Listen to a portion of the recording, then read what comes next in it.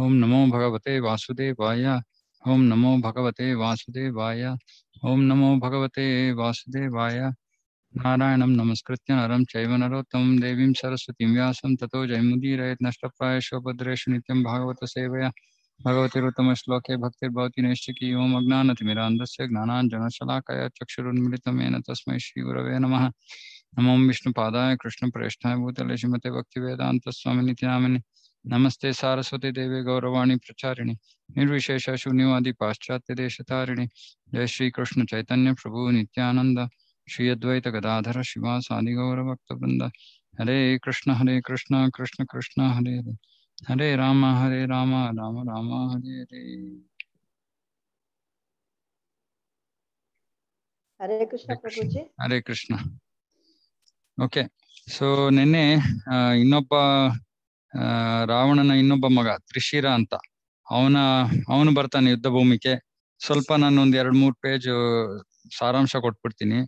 ಹ್ಮ್, ಅವನನ್ನ ಅಂತಿಮವಾಗಿ ಹನುಮಂತ, ಅವನ ತ್ರಿಶಿರ ಮೂರು ತಲೆಗಳನ್ನ ಹೊಂದಿರ್ತಾನೆ. ಅವನು ಮೂರು ತಲೆಗಳನ್ನ ಕೊನೆಗೆ ಘೋರವಾದ ಯುದ್ಧದ ಬಳಿಕ ಹನುಮಂತ ಆ ಮೂರು ತಲೆಗಳನ್ನು ಕತ್ತರಿಸಾಕ್ತಾನೆ. ಅದಾದ್ಮೇಲೆ ಅತಿಕಾಯ. ಅತಿಕಾಯ ಅಂತ ರಾ ರಾವಣನ ಇನ್ನೊಬ್ಬ ಮಗ. ರಾವಣ ಮತ್ತೆ ಧನ್ಯಮಾಲಿ, ಧನ್ಯಮಾಲಿನಿ ಅಂತ ರಾವಣನ ಇನ್ನೊಬ್ಬ ಪತ್ನಿ, ಅವಳ ಮಗ, ಅವನು ಕುಂಭಕರ್ಣನಷ್ಟೇ ಬೃಹತ್ ದೇಹವನ್ನು ಹೊಂದಿರ್ತಾನೆ. ಹ್ಮ್. ಮತ್ತೆ ಅವನು ಬ್ರಹ್ಮದೇವನಿಂದ ವರ ಪಡ್ಕೊಂಡಿರ್ತಾನೆ. ದಾನವರ ದೇವತೆಗಳ ಕೈಯಲ್ಲಿ ಮರಣ ಇಲ್ಲ ಅಂತ. ಹ್ಮ್. ಇಂದ್ರನನ್ನು ಕೂಡ ಅವನು ಇಂದ್ರನ ವಜ್ರಾಯುಧವನ್ನು, ವರುಣನ ಪಾಶಗಳನ್ನು ತಟಸ್ಥಗೊಳಿಸಿರ್ತಾನೆ. ಬಹಳ ಭೀಕರ ಯೋಧ. ಅವನನ್ನ ಲಕ್ಷ್ಮಣ ಲಕ್ಷ್ಮಣ ಅವನನ್ನ ಎದುರಿಸ್ತಾನೆ. ಮತ್ತೆ ಅಂತಿಮವಾಗಿ ಬ್ರಹ್ಮಾಸ್ತ್ರ.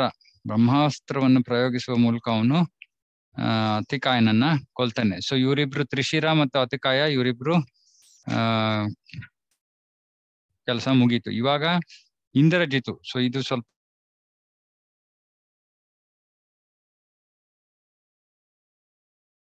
ಹರೇ ಕೃಷ್ಣ. ಓಕೆ ಅತಿಕಾಯನ ಮರಣದ ಸುದ್ದಿಯನ್ನು ಕೇಳಿದ ರಾವಣನು ಬಹಳವಾಗಿ ಕುಗ್ಗಿದನು. ಪರಿಸ್ಥಿತಿಯು ಕೈ ಮೀರಿರುವುದೆಂದು ತಿಳಿದ ಅವನು ರಾಮಲಕ್ಷ್ಮಣರು ಊಹಿಸಲಾಗದಷ್ಟು ಶಕ್ತಿಯುಳ್ಳವರಾಗಿದ್ದಾರೆ. ತಮ್ಮ ಅದ್ಭುತವಾದ ಶಕ್ತಿಯನ್ನು ಉಪಯೋಗಿಸಿರುವ ಅವರು ನನ್ನ ಉತ್ತಮೋತ್ತಮ ಯೋಧರನ್ನು ಈಗಾಗಲೇ ಕೊಂದಿರುವರು. ರಾಮನು ಮಾನವ ರೂಪದಲ್ಲಿರುವ ಸ್ವಯಂ ಭಗವಾನ್ ನಾರಾಯಣನೆಂದು ನನಗೀಗ ಅರ್ಥವಾಗಿದೆ. ಹಿಂದೆ ಈ ಸತ್ಯವನ್ನು ನನಗೆ ಹೇಳಲಾಗಿದ್ದರೂ ಕೂಡ ಅದನ್ನು ಹೇಡಿಗಳ ಮತ್ತು ಪ್ರತಿಭಾ ಮತಿಭ್ರಾಂತರ ಒಂದು ಅಸಂಬದ್ಧವಾದ ಪ್ರಲಾಪವೆಂದು ನಾನು ಭಾವಿಸಿದ್ದೆ. ರಾಮನನ್ನು ಯಾರು ತಾನೇ ಸೋಲಿಸಬಲ್ಲರು ಎಂದು ಗೋಳಾಡಿದನು. ಇವಾಗ ಅವನಿಗೆ ಬುದ್ಧಿ ಬರ್ತಾ ಇದೆ. ತನ್ನ ಮಂತ್ರಿಗಳ ಕಡೆಗೆ ತಿರುಗಿದ ರಾವಣನು ನಗರದ ಎಲ್ಲಾ ದ್ವಾರಗಳು ಭದ್ರವಾಗಿ ಸಂ ಸಂರಕ್ಷಿತವಾಗಿರುವುದನ್ನು ಖಚಿತಗೊಳಿಸಿರಿ ಅಶೋಕವನದ ಸುತ್ತಲೂ ಪಹರೆಯನ್ನು ಹೆಚ್ಚಿಸಿ, ವೈರ್ಯ ಚಲನವಲನಗಳನ್ನು ಗಮನಿಸಲು ಎಲ್ಲರೂ ಸಂಪೂರ್ಣ ಸಂಪೂರ್ಣ ಎಚ್ಚರಿಕೆಯಲ್ಲಿರಬೇಕು. ಕಣ್ತುಂಬಿಕೊಂಡಿದ್ದ ತನ್ನ ತಂದೆಯವರು ದುಃಖ ಮತ್ತು ಶೋಕದಿಂದ ಆವೃತನಾಗಿರುವುದನ್ನು ಕಂಡ ಇಂದ್ರಜಿತು ನಾನು ಬದುಕಿರುವ ತನಕ ನೀವು ಹೀಗೆ ಕೋಳಾಡಲು ಕಾರಣವಿಲ್ಲ. ನನ್ನ ಪ್ರೀತಿಯ ತಂದೆಯವರೇ, ನಾನು ರಾಮ ಲಕ್ಷ್ಮಣರು ಈ ದಿನವೇ ಕೊಲ್ಲುವೆನೆಂದು ಪ್ರತಿಜ್ಞೆ ಮಾಡುತ್ತೇನೆ ಎಂದನು. ತಂದೆಯರ ಆಶೀರ್ವಾದವನ್ನು ಪಡೆದ ಬಳಿಕ ತನ್ನ ಬಲಿಪೀಠಕ್ಕೆ ಹೋದ ಇಂದ್ರಜಿತು ಒಂದು ಜೀವಂತವಾಗಿರುವ ಮೇಕೆಯನ್ನು ಕತ್ತಿನಿಂದ ಹಿಡಿದು ಅದನ್ನು ಯಜ್ಞದ ಅಗ್ನಿಯಲ್ಲಿ ಆಹುತಿಯಾಗಿ ಎಸೆದನು. ಕೂಡಲೇ ಪ್ರಜ್ವಲಿಸಿದ ಅಗ್ನಿಯು ರಾವಣನ ಪ್ರಿಯ ಪುತ್ರನಿಗೆ ಮುಂದೊದಗಬಹುದಾದ ವಿಜಯವನ್ನು ಸೂಚಿಸಿತು. ನಂತರ ಅಗ್ನಿ ದೇವನೇ ಹೊರಬಂದು ಆ ಕಾಣಿಕೆಯನ್ನು ಸ್ವೀಕರಿಸಿದನು. ಅನಂತರ ತನ್ನನ್ನು ಕತ್ತೆಯಿಂದ ಎಳೆಯಲ್ಪಡುವ ತನ್ನ ರಥವನ್ನು ಹಾಗೂ ತನ್ನೆಲ್ಲಾ ಸಾಮಗ್ರಿಗಳನ್ನು ಅದೃಶ್ಯಗೊಳಿಸುವ ಮಂತ್ರವನ್ನು ಆಹ್ವಾನಿಸಿದ ಇಂದ್ರಜಿತುವು ವೈರ್ಯನ್ನು ಆಕ್ರಮಿಸುವುದಕ್ಕಾಗಿ ಸೈನ್ಯವನ್ನು ಕಳುಹಿಸಿ ಆಕಾಶದಲ್ಲಿ ಅದೃಶ್ಯವಾಗಿ ನಿಂತು ವಾನರ ಸೈನಿಕರ ಮೇಲೆ ಬಾಣಗಳ ಸುರಿ ಮಳೆಗರೆ ಎಲ್ಲ ಆರಂಭಿಸಿದನು. ಸೊ ಅವನಿಗೆ ಇದೊಂದು ವರ ಸಿಕ್ಕ, ಸಿಕ್ಕಿರತ್ತೆ. ಅದೃಶ್ಯನಾಗಿ ಉಳಿಬಹುದು ಆ ಸೊ ಅವನು ಇವಾಗ ಅದೃಶ್ಯನಾಗ್ಬಿಡ್ತಾನೆ. ಆ ಬಾಣಗಳು ಬರುತ್ತಿರುವ ಜಾಗದ ದಿಕ್ಕಿನಲ್ಲಿ ಅನೇಕ ಮರಗಳನ್ನು ಮತ್ತು ಬಂಡೆಗಳನ್ನು ಎಸೆಯುವ ಮೂಲಕ ವಾನರರು ಅವನನ್ನು ಪ್ರತಿಭಟಿಸುವ ಪ್ರಯತ್ನ ಮಾಡಿದರು. ಆದರೆ ಎಲ್ಲಾ ಅಸ್ತ್ರಗಳ ಮಾರ್ಗವನ್ನು ಬದಲಾಯಿಸಿದ ರಾಕ್ಷಸನು ತನ್ನ ಒಂದು ಬಾಣದಿಂದ ಒಂಬತ್ತು ವಾನರರನ್ನು ಕತ್ತರಿಸಿದನು. ನಂತರ ಬ್ರಹ್ಮಾಸ್ತ್ರವನ್ನು ಆಹ್ವಾನಿಸಿದ ಅವನು ಸ್ವರ್ಗ ಮತ್ತು ಭೂಮಿಯು ಅಲುಗಾಡುವಂತೆ ಮಾಡಿದನು. ಅಗಣಿತ ಬಾಣಗಳನ್ನು ಸೃಷ್ಟಿಸಿದ ಆ ಪರಮ ಅಸ್ತ್ರವು ಲೆಕ್ಕವಿಲ್ಲದಷ್ಟು ವಾನರ ಯೋಧರನ್ನು ನೆಲಸಮ ಮಾಡಿತು. ಕೋಟ್ಯಾಂತವ, ಕೋಟ್ಯಾಂತರ ವಾನರರು ಕೂಡಲೇ ಮೃತರಾದರು. ಅದೃಶ್ಯನಾಗಿದ್ದ ಇಂದ್ರಜಿತು ಇಂದ್ರಜಿತು ಬಲ್ಲೆಗಳನ್ನು, ಖಡ್ಗಳನ್ನು, ಖಡ್ಗಗಳನ್ನು ಮತ್ತು ಕೊಡಲಿಗಳನ್ನು ಎಸೆಯಲು ಮುಂದುವರಿದನು. ಆಕಾಶದಿಂದ ಬೀಳುತ್ತಿದ್ದ ಅಸ್ತ್ರಗಳನ್ನು ಕಂಡ ವಾನರರು ದಿಗ್ಭ್ರಮೆಗೊಂಡರು. ಆದರೆ ಅವರಿಗೆ ಆಕ್ರಮಣಕಾರನು ಕಾಣಿಸಲಿಲ್ಲ. ಹನುಮಂತ, ಸುಗ್ರೀವ, ನೀಲ ಮತ್ತು ಜಾಂಬವಂತರು ಕೂಡ ಗಾಯಗೊಂಡು ನೆಲಕ್ಕೆ ಬಿದ್ದರು. ಹಾಗೂ ರಾಮ ಲಕ್ಷ್ಮಣರು ಇಂದ್ರಜಿತುವಿನ ಅಸ್ತ್ರಗಳಿಂದ ಗ್ರಹಣಗ್ರಸ್ತರಾದವರಂತೆ ಕಂಡರು. ಬಾಣಗಳಿಂದ ಆವೃತನಾಗಿದ್ದರೂ ವಿಚಲಿತನಾಗದೆ ಉಳಿದ ರಾಮನು, ಓ ಲಕ್ಷ್ಮಣನೇ, ಇಂದ್ರಜಿತುವು ಬ್ರಹ್ಮದೇವನು ನೀಡಿರುವ ಶಕ್ತಿಯುತವಾದ ಬಾಣಗಳನ್ನು ಪ್ರಯೋಗಿಸುತ್ತಿರುವನೆಂದು ನನಗೆ ತಿಳಿದಿದೆ. ಈ ಪ್ರಬಲವಾದ ರಾಕ್ಷಸನು ಅದೃಶ್ಯನಾಗಿರುವವರೆಗೂ ಯಾರೂ ಅವನನ್ನು ಸೋಲಿಸಲು ಸಾಧ್ಯವಿಲ್ಲ. ಆದ್ದರಿಂದ ನಾವು ಅವನ ಬಾಣಗಳಿಂದ ಘಾಸಿಗೊಳ್ಳಲ್ಪಡಬೇಕು ನಾವು ಮೂರ್ಛಿತರಾದಾಗ ತಾನು ವಿಜಯಿ ಎಂದು ಖಂಡಿತವಾಗಿ ಭಾವಿಸಿಕೊಳ್ಳುವ ಅವನು ರಾವಣನಿಗೆ ಆ ವಿಷಯವನ್ನು ತಿಳಿಸಲು ಲಂಕೆಗೆ ಹಿಂದಿರುಗುವನು. ಇಂದ್ರಜಿತುವಿನ ಬಾಣಗಳಿಂದ ತೀವ್ರವಾಗಿ ಗಾಯಗೊಂಡ ರಾಮಲಕ್ಷ್ಮಣರು ಪ್ರಜ್ಞೆ ತಪ್ಪಿ ನೆಲಕ್ಕೆ ಬಿದ್ದರು. ತನ್ನ ವೈರಿಗಳು ನಾಶವಾದುದನ್ನು ಕಂಡು ಸಂತೋಷದಿಂದ ಬೀಗಿದ ಇಂದ್ರಜಿತುವು ತನ್ನ ತಂದೆಯವರಿಗೆ ಆ ವಿಷಯವನ್ನು ತಿಳಿಸಲೆಂದು ಲಂಕೆಗೆ ಹಿಂದಿರುಗಿದನು. ರಾಮ ಲಕ್ಷ್ಮಣರ ಸ್ಥಿತಿಯನ್ನು ಕಂಡ ಬದುಕುಳಿದಿದ್ದ ವಾನರರು ಬಹಳ ಕುಗ್ಗಿದರು. ಆಗ ವಿಭೀಷಣನು, ಓ ಮಹಾವೀರರೇ, ಶೋಕಿಸದಿರಿ. ರಾಮ ಲಕ್ಷ್ಮಣರು ಬ್ರಹ್ಮಾಸ್ತ್ರವನ್ನು ಗೌರವಿಸಲೆಂದೇ ತಮ್ಮನ್ನು ಆ ಅಸಹಾಯಕ ಸ್ಥಿತಿಯಲ್ಲಿ ಇರಿಸಿಕೊಂಡಿದ್ದಾರೆ. ಸ್ವಲ್ಪ ಸಮಯದಲ್ಲೇ ಎಚ್ಚರಗೊಳ್ಳುವ ಅವರು ತಮ್ಮ ವೈರಿಯನ್ನು ನಾಶ ಮಾಡುತ್ತಾರೆ ಎಂಬುದಾಗಿ ಹೇಳಿ ಆಶ್ವಾಸನೆ ನೀಡಿದನು. ನಂತರ ಬ್ರಹ್ಮಾಸ್ತ್ರಕ್ಕೆ ಗೌರವ ನೀಡಿದ ಹನುಮಂತನು, ರಾತ್ರಿಯಾಗಿದ್ದು ಯುದ್ಧವು ಈಗ ಕೊನೆಗೊಂಡಿದೆ. ಆದ್ದರಿಂದ ಉಳಿದ ಎಲ್ಲಾ ವಾನರರ ಆತ್ಮವಿಶ್ವಾಸವನ್ನು ಪುನಃಸ್ಥಾಪಿಸುವುದು ನಮ್ಮ ಮೊದಲ ಕಾರ್ಯವಾಗಬೇಕು ಎಂದನು. ಪಂಜುಗಳನ್ನು ಹಿಡಿದುಕೊಂಡ ಹನುಮಂತ ಮತ್ತು ವಿಭೀಷಣರು ಯುದ್ಧ ಭೂಮಿಯಲ್ಲಿ ಅಲೆದಾಡಲು ಪ್ರಾರಂಭಿಸಿದರು. ಇಂದ್ರಜಿತುವಿನ ಬ್ರಹ್ಮಾಸ್ತ್ರದಿಂದ ಗಾಯಗೊಂಡು ನೆಲದ ಮೇಲೆ ಬಿದ್ದಿದ್ದ ಸುಗ್ರೀವ, ಅಂಗದ, ನೀಲ, ನಲ ಮತ್ತು ಇತರ ಅರವತ್ತು ಲಕ್ಷ ವಾನರರನ್ನು ಅವರು ಕಂಡರು. ತೀವ್ರವಾಗಿ ಗಾಯಗೊಂಡಿದ್ದು ದೃಷ್ಟಿಹೀನನಾಗಿ ಬಿದ್ದಿದ್ದ ಜಾಂಬುವಂತನನ್ನು ಅವರು ಕಂಡರು. ಆಗ ಜಾಂಬವಂತನು, ಹನುಮಂತನು ಇನ್ನೂ ಬದುಕಿರುವನೇ? ಎಂದು ವಿಚಾರಿಸಿದನು. ಆಗ ವಿಭೀಷಣನು, ನೀನು ರಾಮ, ಲಕ್ಷ್ಮಣ, ಸುಗ್ರೀವ ಮತ್ತು ಅಂಗದ ಇವರನ್ನೆಲ್ಲ ಬಿಟ್ಟು ಹನುಮಂತನ ಬಗ್ಗೆ ಏಕೆ ವಿಚಾರಿಸುತ್ತಿರುವೆ? ಎಂಬುದಾಗಿ ಕೇಳಿದನು. ಆಗ ಪ್ರತ್ಯುತ್ತರಿಸಿದ ಜಾಂಬವಂತನು, ಹನುಮಂತನು ಬದುಕಿದ್ದರೆ ಸೈನ್ಯವು ಮೇಲ್ನೋಟಕ್ಕೆ ನಾಶವಾಗಿರುವಂತೆ ಕಂಡುಬಂದರೂ ಸಹ ಅಖಂಡವಾಗಿ ಉಳಿದಿರುತ್ತದೆ. ಆದರೆ ಹನುಮಂತನು ಮೃತಪಟ್ಟಿದ್ದರೆ ಸೈನಿಕರೆಲ್ಲರೂ ಬದುಕಿದ್ದರೂ ಸಂಪೂರ್ಣ ಸೈನ್ಯವು ನಾಶವಾದಂತೆ ಎಂದನು. ಇದನ್ನು ಕೇಳಿ ಮುಂದೆ ಬಂದು ಜಾಂಬವಂತನ ಕಾಲುಗಳನ್ನು ಹಿಡಿದುಕೊಂಡ ಹನುಮಂತನು, ನಾನು ಕ್ಷೇಮವಾಗಿದ್ದೇನೆ. ನೀವು ಚಿಂತಿಸುವ ಕಾರಣವಿಲ್ಲ ಎಂದು ಹೇಳಿದನು. ಆಗ ಜಾಂಬವಂತನು, ನೀನು ಹಿಮಾಲಯಕ್ಕೆ ಕೂಡಲೇ ಹೋಗಿ ಋಷಭ ಪರ್ವತಗಳನ್ನು ಹುಡುಕು. ಎಲ್ಲಾ ದಿಕ್ಕುಗಳನ್ನು ಪ್ರಕಾಶಗೊಳಿಸುವ ರೋಗ ನಿವಾರಕ ಗಿಡ ಮೂಲಿಕೆಗಳಿಂದ ತುಂಬಿರುವ ಹೊಳೆಯುತ್ತಿರುವ ಪರ್ವತವೊಂದು ಋಷಭ ಮತ್ತು ಕೈಲಾಸದ ಮಧ್ಯೆ ಸ್ಥಿತವಾಗಿದೆ. ಸತ್ತವರನ್ನು ಬದುಕಿಸಬಲ್ಲ ಮೃತ ಸಂಜೀವಿನಿ ಅಸ್ ಅಸ್ತ್ರಗಳನ್ನು ಹೊರತೆಗೆಯುವಂತಹ ಮತ್ತು ಗಾಯಗಳನ್ನು ವಾಸಿ ಮಾಡುವಂತಹ ವಿಶಾಲ್ಯ ಕರಣಿ, ದೇಹದ ಪ್ರಾಕೃತಿಕ ಕಾಂತಿಯನ್ನು ಪುನಃಸ್ಥಾಪಿಸುವಂತಹ ಸುವರ್ಣ ಕರಣಿ ಹಾಗೂ ಮುರಿದ ಮೂಳೆಗಳನ್ನು ವಾಸಿ ಮಾಡುವಂತಹ ಮತ್ತು ಕತ್ತರಿಸಿ ಹೋಗಿರುವ ಕೈಕಾಲುಗಳನ್ನು ಜೋಡಿಸುವಂತಹ ಸಂಧಾನಿ ಎಂಬ ಗಿಡಮೂಲಿಕೆಗಳನ್ನು ಸಂಗ್ರಹಿಸಿ ಇಲ್ಲಿಗೆ ತೆಗೆದುಕೊಂಡು ಬಾ. ನಾವು ಈ ಗಿಡಮೂಲಿಕೆಗಳನ್ನು ಬಳಸಿ ಪ್ರಾಣವನ್ನು ಕಳೆದುಕೊಂಡಿರುವ ಎಲ್ಲಾ ವಾನರ ವೀರರನ್ನು ಬದುಕಿಸಬಹುದು ಎಂಬುದಾಗಿ ಉಪದೇಶಿಸಿದನು. ಇದನ್ನು ಕೇಳಿ ಪುನರ್ಜೀವಿತನಾದ ಹನುಮಂತನು ನವ ಚೈತನ್ಯದಿಂದ ಉಬ್ಬಿದನು. ತ್ರಿಕೂಟ ಪರ್ವತಕ್ಕೆ ಹೋದ ಅವನು ಒಂದು ಪ್ರಚಂಡ ಜಿಗಿತದ ಪೂರ್ವ ಸಿದ್ಧತೆಯಲ್ಲಿ ಕುಳಿತನು. ಅವನ ಜಿಗಿತದಿಂದ ಆ ಪರ್ವತ ಶಿಖರವು ಕುಸಿದಾಗ ಅದರಿಂದ ಉತ್ಪತ್ತಿಯಾದ ತಿಕ್ಕಾಟದಿಂದ ಮರಗಳು ಉರಿದವು. ಲಂಕೆಯ ಅರಮನೆಗಳು ಮತ್ತು ನಗರದ ದ್ವಾರಗಳು ಕುಸಿಯಲಾರಂಭಿಸಿತು ಮತ್ತು ಸಂಪೂರ್ಣ ಲಂಕಾ ನಗರವು ಅಲುಗಾಡಿ ಪ್ರಜೆಗಳಲ್ಲಿ ಭಯ ತುಂಬಿಸಿತು. ಮೊದಲಿಗೆ ಹನುಮಂತನು ಸಮುದ್ರದ ಆಚೆಯ ದಡದಲ್ಲಿದ್ದ ಮಲಯ ಪರ್ವತಕ್ಕೆ ಹಾರಿದನು. ತನ್ನನ್ನು ಇನ್ನೂ ವಿಸ್ತರಿಸಿಕೊಂಡ ಬಳಿಕ ಸೂರ್ಯ ದೇವನಿಗೆ ಪ್ರಣಾಮ ಮಾಡಿ ಆಕಾಶಕ್ಕೆ ಮತ್ತೆ ಹಾರಿದ ಅವನು ದೊಡ್ಡ ಬಂಡೆಗಳನ್ನು ಮತ್ತು ಮರಗಳನ್ನು ತನ್ನ ಜೊತೆಗೆ ಸೆಳೆದನು. ವಾಯು ವೇಗದಲ್ಲಿ ಹಾರಿದ ಹನುಮಂತನು ಚಿನ್ನದ ಶಿಖರಗಳುಳ್ಳ ಹಿಮಾಲಯ ಪರ್ವತಗಳನ್ನು ಸ್ವಲ್ಪ ಸಮಯದಲ್ಲೇ ತಲುಪಿದನು. ಚಿನ್ನದ ಶಿಖರಗಳುಳ್ಳ.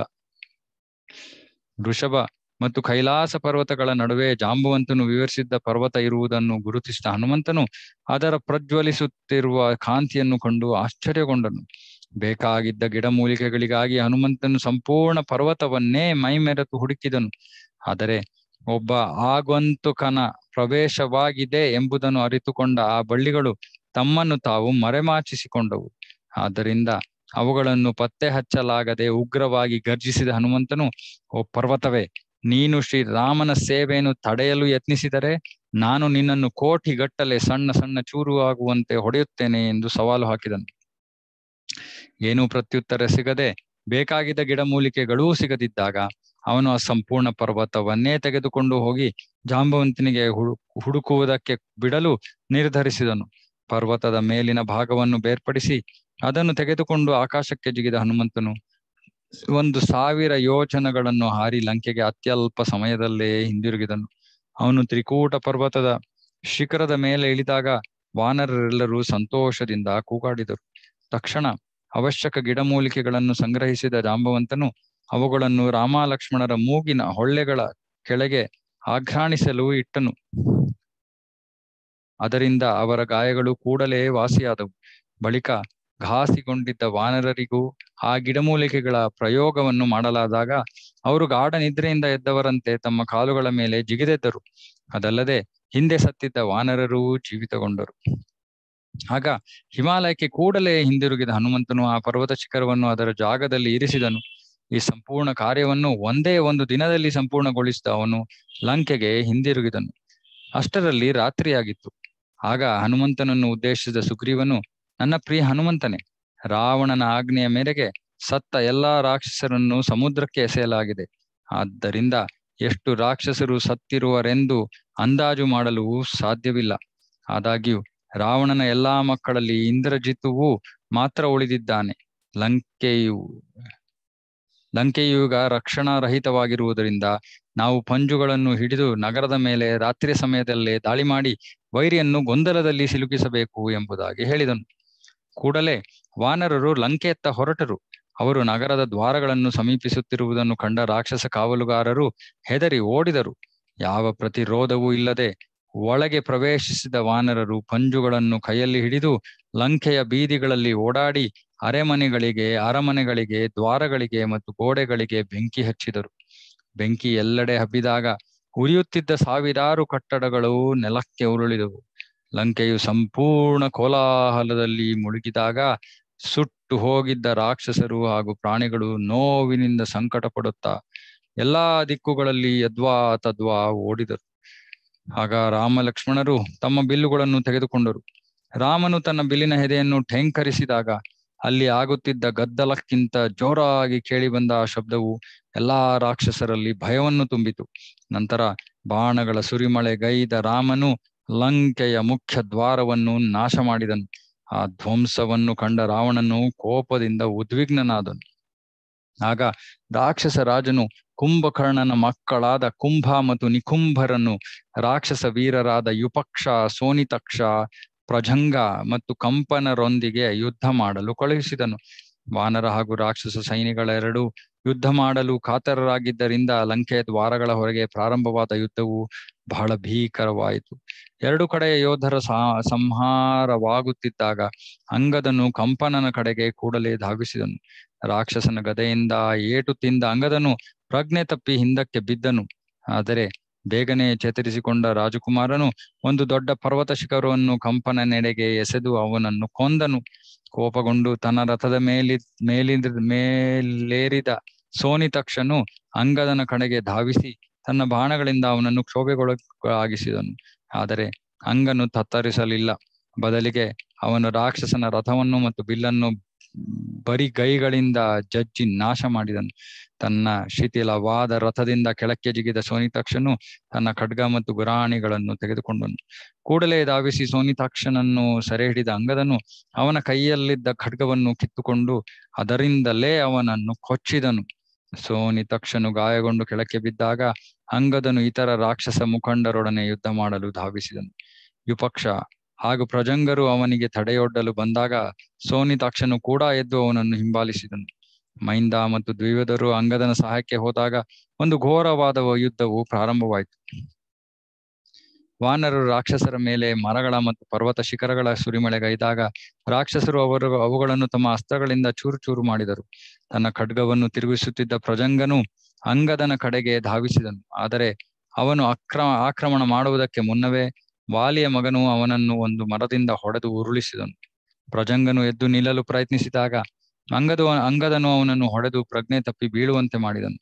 ಇದನ್ನು ಕಂಡು ಮುನ್ನುಗ್ಗಿದ ಸೋನಿ ತಕ್ಷಣ ಅಂಗದನ ಹಣೆಗೆ ಮುಷ್ಟಿಯಿಂದ ಹೊಡೆದನು. ಕ್ಷಣ ಮಾತ್ರ ತಬ್ಬಿಬ್ಬಾದ ಅಂಗದನು ಕೂಡಲೇ ಚೇತರಿಸಿಕೊಂಡನು. ಭಜಂಗನು ನವೀಕೃತ ಬಲದೊಂದಿಗೆ ಅವನೆಡೆಗೆ ಧಾವಿಸಿದಾಗ ರಾಜಕುಮಾರನು ಅವನ ತಲೆಯನ್ನು ತನ್ನ ಕೈಗಳ ಹೊಡೆತ ಮಾತ್ರದಿಂದಲೇ ಕಡಿದು ಹಾಕಿದನು ಓಕೆ.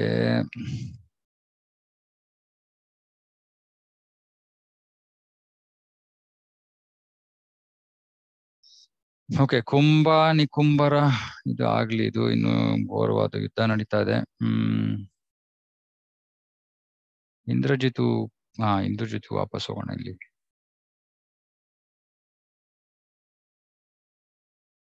ಹ್ಮ್. ಸೊ ಈ ಯುದ್ಧ ನಡೆಯುತ್ತೆ. ಈ ಕುಂಭ ಮತ್ತೆ ನಿಕುಂಭ ಅವರನ್ನು ಕೂಡ ಸಮ್ಮರಿಸಲಾಗತ್ತೆ ಆಮೇಲೆ, ತದನಂತರ ರಾವಣನು ಇಂದ್ರಜಿತುವಿಗೆ ಯುದ್ಧಕ್ಕೆ ಪುನಃ ಹೋಗುವಂತೆ ಆದೇಶಿಸಿದನು ಬಲಿಪೀಠಕ್ಕೆ ಹೋದ ರಾಜಕುಮಾರನು ತನ್ನ ಶಕ್ತಿಯನ್ನು ಅಪರಿಮಿತವಾಗಿ ಹೆಚ್ಚಿಸಿಕೊಳ್ಳಲು ಅಗ್ನಿಯಲ್ಲಿ ತುಪ್ಪವನ್ನು ಸುರಿದನು.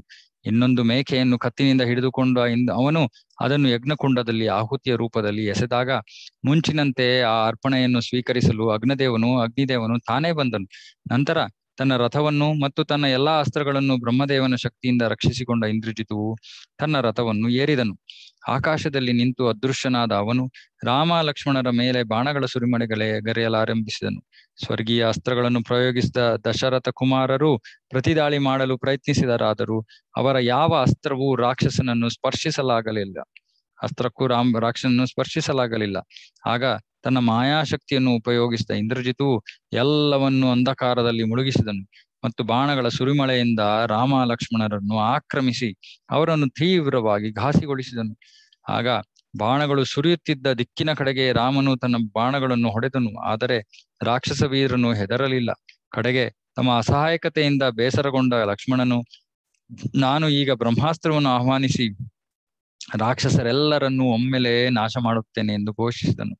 ಆಗ ರಾಮನು, ನನ್ನ ಪ್ರೀತಿಯ ಸಹೋದರನೇ, ಒಬ್ಬ ವೈರಿಯೊಡನೆ ಯುದ್ಧ ಮಾಡುತ್ತಿರುವಾಗ ಯುದ್ಧದಲ್ಲಿ ಭಾಗವಹಿಸೇ, ವಾಹಿಸದೇ ಇರುವ ಇತರರನ್ನು ಕೊಲ್ಲುವುದು ಸರಿಯಲ್ಲ. ನಾನು ಕೂಡ ಈ ಪ್ರಬಲವಾದ ರಾಕ್ಷಸನ ಅಂತ್ಯ ಮಾಡಲು ಕಾತರನಾಗಿದ್ದೇನೆ. ಆದರೆ ತಾಳ್ಮೆ ಇರಲಿ. ನಾವು ನಮ್ಮ ಸ್ವರ್ಗೀಯ ಅಸ್ತ್ರಗಳನ್ನು ಅವನ ಮೇಲೆ ಇನ್ನೂ ಹೆಚ್ಚಾಗಿ ಪ್ರಯೋಗಿಸೋಣ ಎಂದನು. ರಾಮನು ತನ್ನನ್ನು ತಾ ಸ್ವಲ್ಪ ಸಮಯದಲ್ಲೇ ಮುಗಿಸಲು ಇಚ್ಛಿಸುತ್ತಿರುವನೆಂದು ತಿಳಿದ ಇಂದ್ರಜಿತು ಲಂಕೆಗೆ ಕೂಡಲೇ ಹಿಂದಿರುಗಿದನು. ಸ್ವಲ್ಪ ಸಮಯದಲ್ಲೇ ಯುದ್ಧ ಭೂಮಿಗೆ ಮತ್ತೆ ಹಿಂದಿರುಗಿದ ಅವನು ಮಾಯಾ ಸೀತೆಯೊಂದಿಗೆ ಕಾಣಿಸಿಕೊಂಡನು. ತಮ್ಮ ಮುಂದಿದ್ದ ಇಂದ್ರಜಿತುವನ್ನು ಕಂಡ ಹನುಮಂತ, ಹನುಮಂತನ ನೇತೃತ್ವದಲ್ಲಿದ್ದ ವಾನರರು ಅವನನ್ನು ಆಕ್ರಮಿಸಲು ಧಾವಿಸಿದರು. ಆದರೆ ಸೀತೆಯು ರಥದ ಮೇಲೆ ಕುಳಿತಿರುವುದನ್ನು ಕಂಡ ಅವರು ಬಹಳವಾಗಿ ಕುಗ್ಗಿದರು. ವಾನರರೆಲ್ಲರೂ ಅಸಹಾಯಕತೆಯಿಂದ ನೋಡುತ್ತಿದ್ದಂತೆ ತನ್ನ ಖಡ್ಗವನ್ನು ಎಳೆದ ಇಂದ್ರಜಿತುವು ಸೀತೆಯನ್ನು ಅವಳ ಜುಟ್ಟಿನಿಂದ ಹಿಡಿದನು. ಆ ಮಾಯಾ ಸೀತೆಯು ರಾಮ ರಾಮ ಎಂದು ಕೂಗುತ್ತಾ ಅತ್ತಾಗ ಇಂದ್ರಜಿತುವು ಅವಳನ್ನು ತನ್ನ ಮುಷ್ಟಿಯಿಂದ ಗುದ್ದಿದನು. ತಡೆಯಲಾರದಂತಹ ಸಂಕಟವನ್ನು ಅನುಭವಿಸಿದ ಹನುಮಂತನು, ನೀನು ಎಲ್ಲಾ ರಾಕ್ಷಸರಿಗಿಂತಲೂ ಅತ್ಯಂತ ಅಧಮನು. ಸ್ತ್ರೀ ಹತ್ಯೆಗೈದವರಿಗಾಗಿ ಕಾದಿಟ್ಟ ನರಕದಲ್ಲಿ ನಿನಗೆ ಶೀಘ್ರದಲ್ಲೇ ಶಿಕ್ಷೆಯಾಗುವುದೆಂದು ನಾನು ಭಾಷೆ ಕೊಡುತ್ತೇನೆ. ಎಂಬುದಾಗಿ ಅರಚಿ ಉಳಿದ ವಾನರರೊಡನೆ ಇಂದ್ರಜಿತುವಿನೆಡೆಗೆ ಧಾವಿಸಿದನು.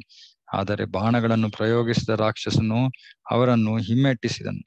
ಆಗ ಇಂದ್ರಜಿತುವು, ಈಗ ನಾನು ಸೀತೆಯನ್ನು ಕೊಲ್ಲುವುದನ್ನು ನೀವೆಲ್ಲ ವೀಕ್ಷಿಸಿ. ಒಂದು ಯುದ್ಧವನ್ನು ಜಯಿಸಲು ಇಚ್ಛಿಸುವವನು ತನ್ನ ವೈರಿಗೆ ನೋವನ್ನು ಕೊಡಲು ಸಿದ್ಧನಾಗಿರಬೇಕು ಎಂದು ಹೇಳಿ ತನ್ನ ಖಡ್ಗವನ್ನು ತೆಗೆದುಕೊಂಡ ಅವನು ಆ ಮಾಯಾ ಸೀತೆಯ ದೇಹವನ್ನು ಓರೆಯಾಗಿ ಉಗ್ರವಾಗಿ ಕತ್ತರಿಸಿದನು.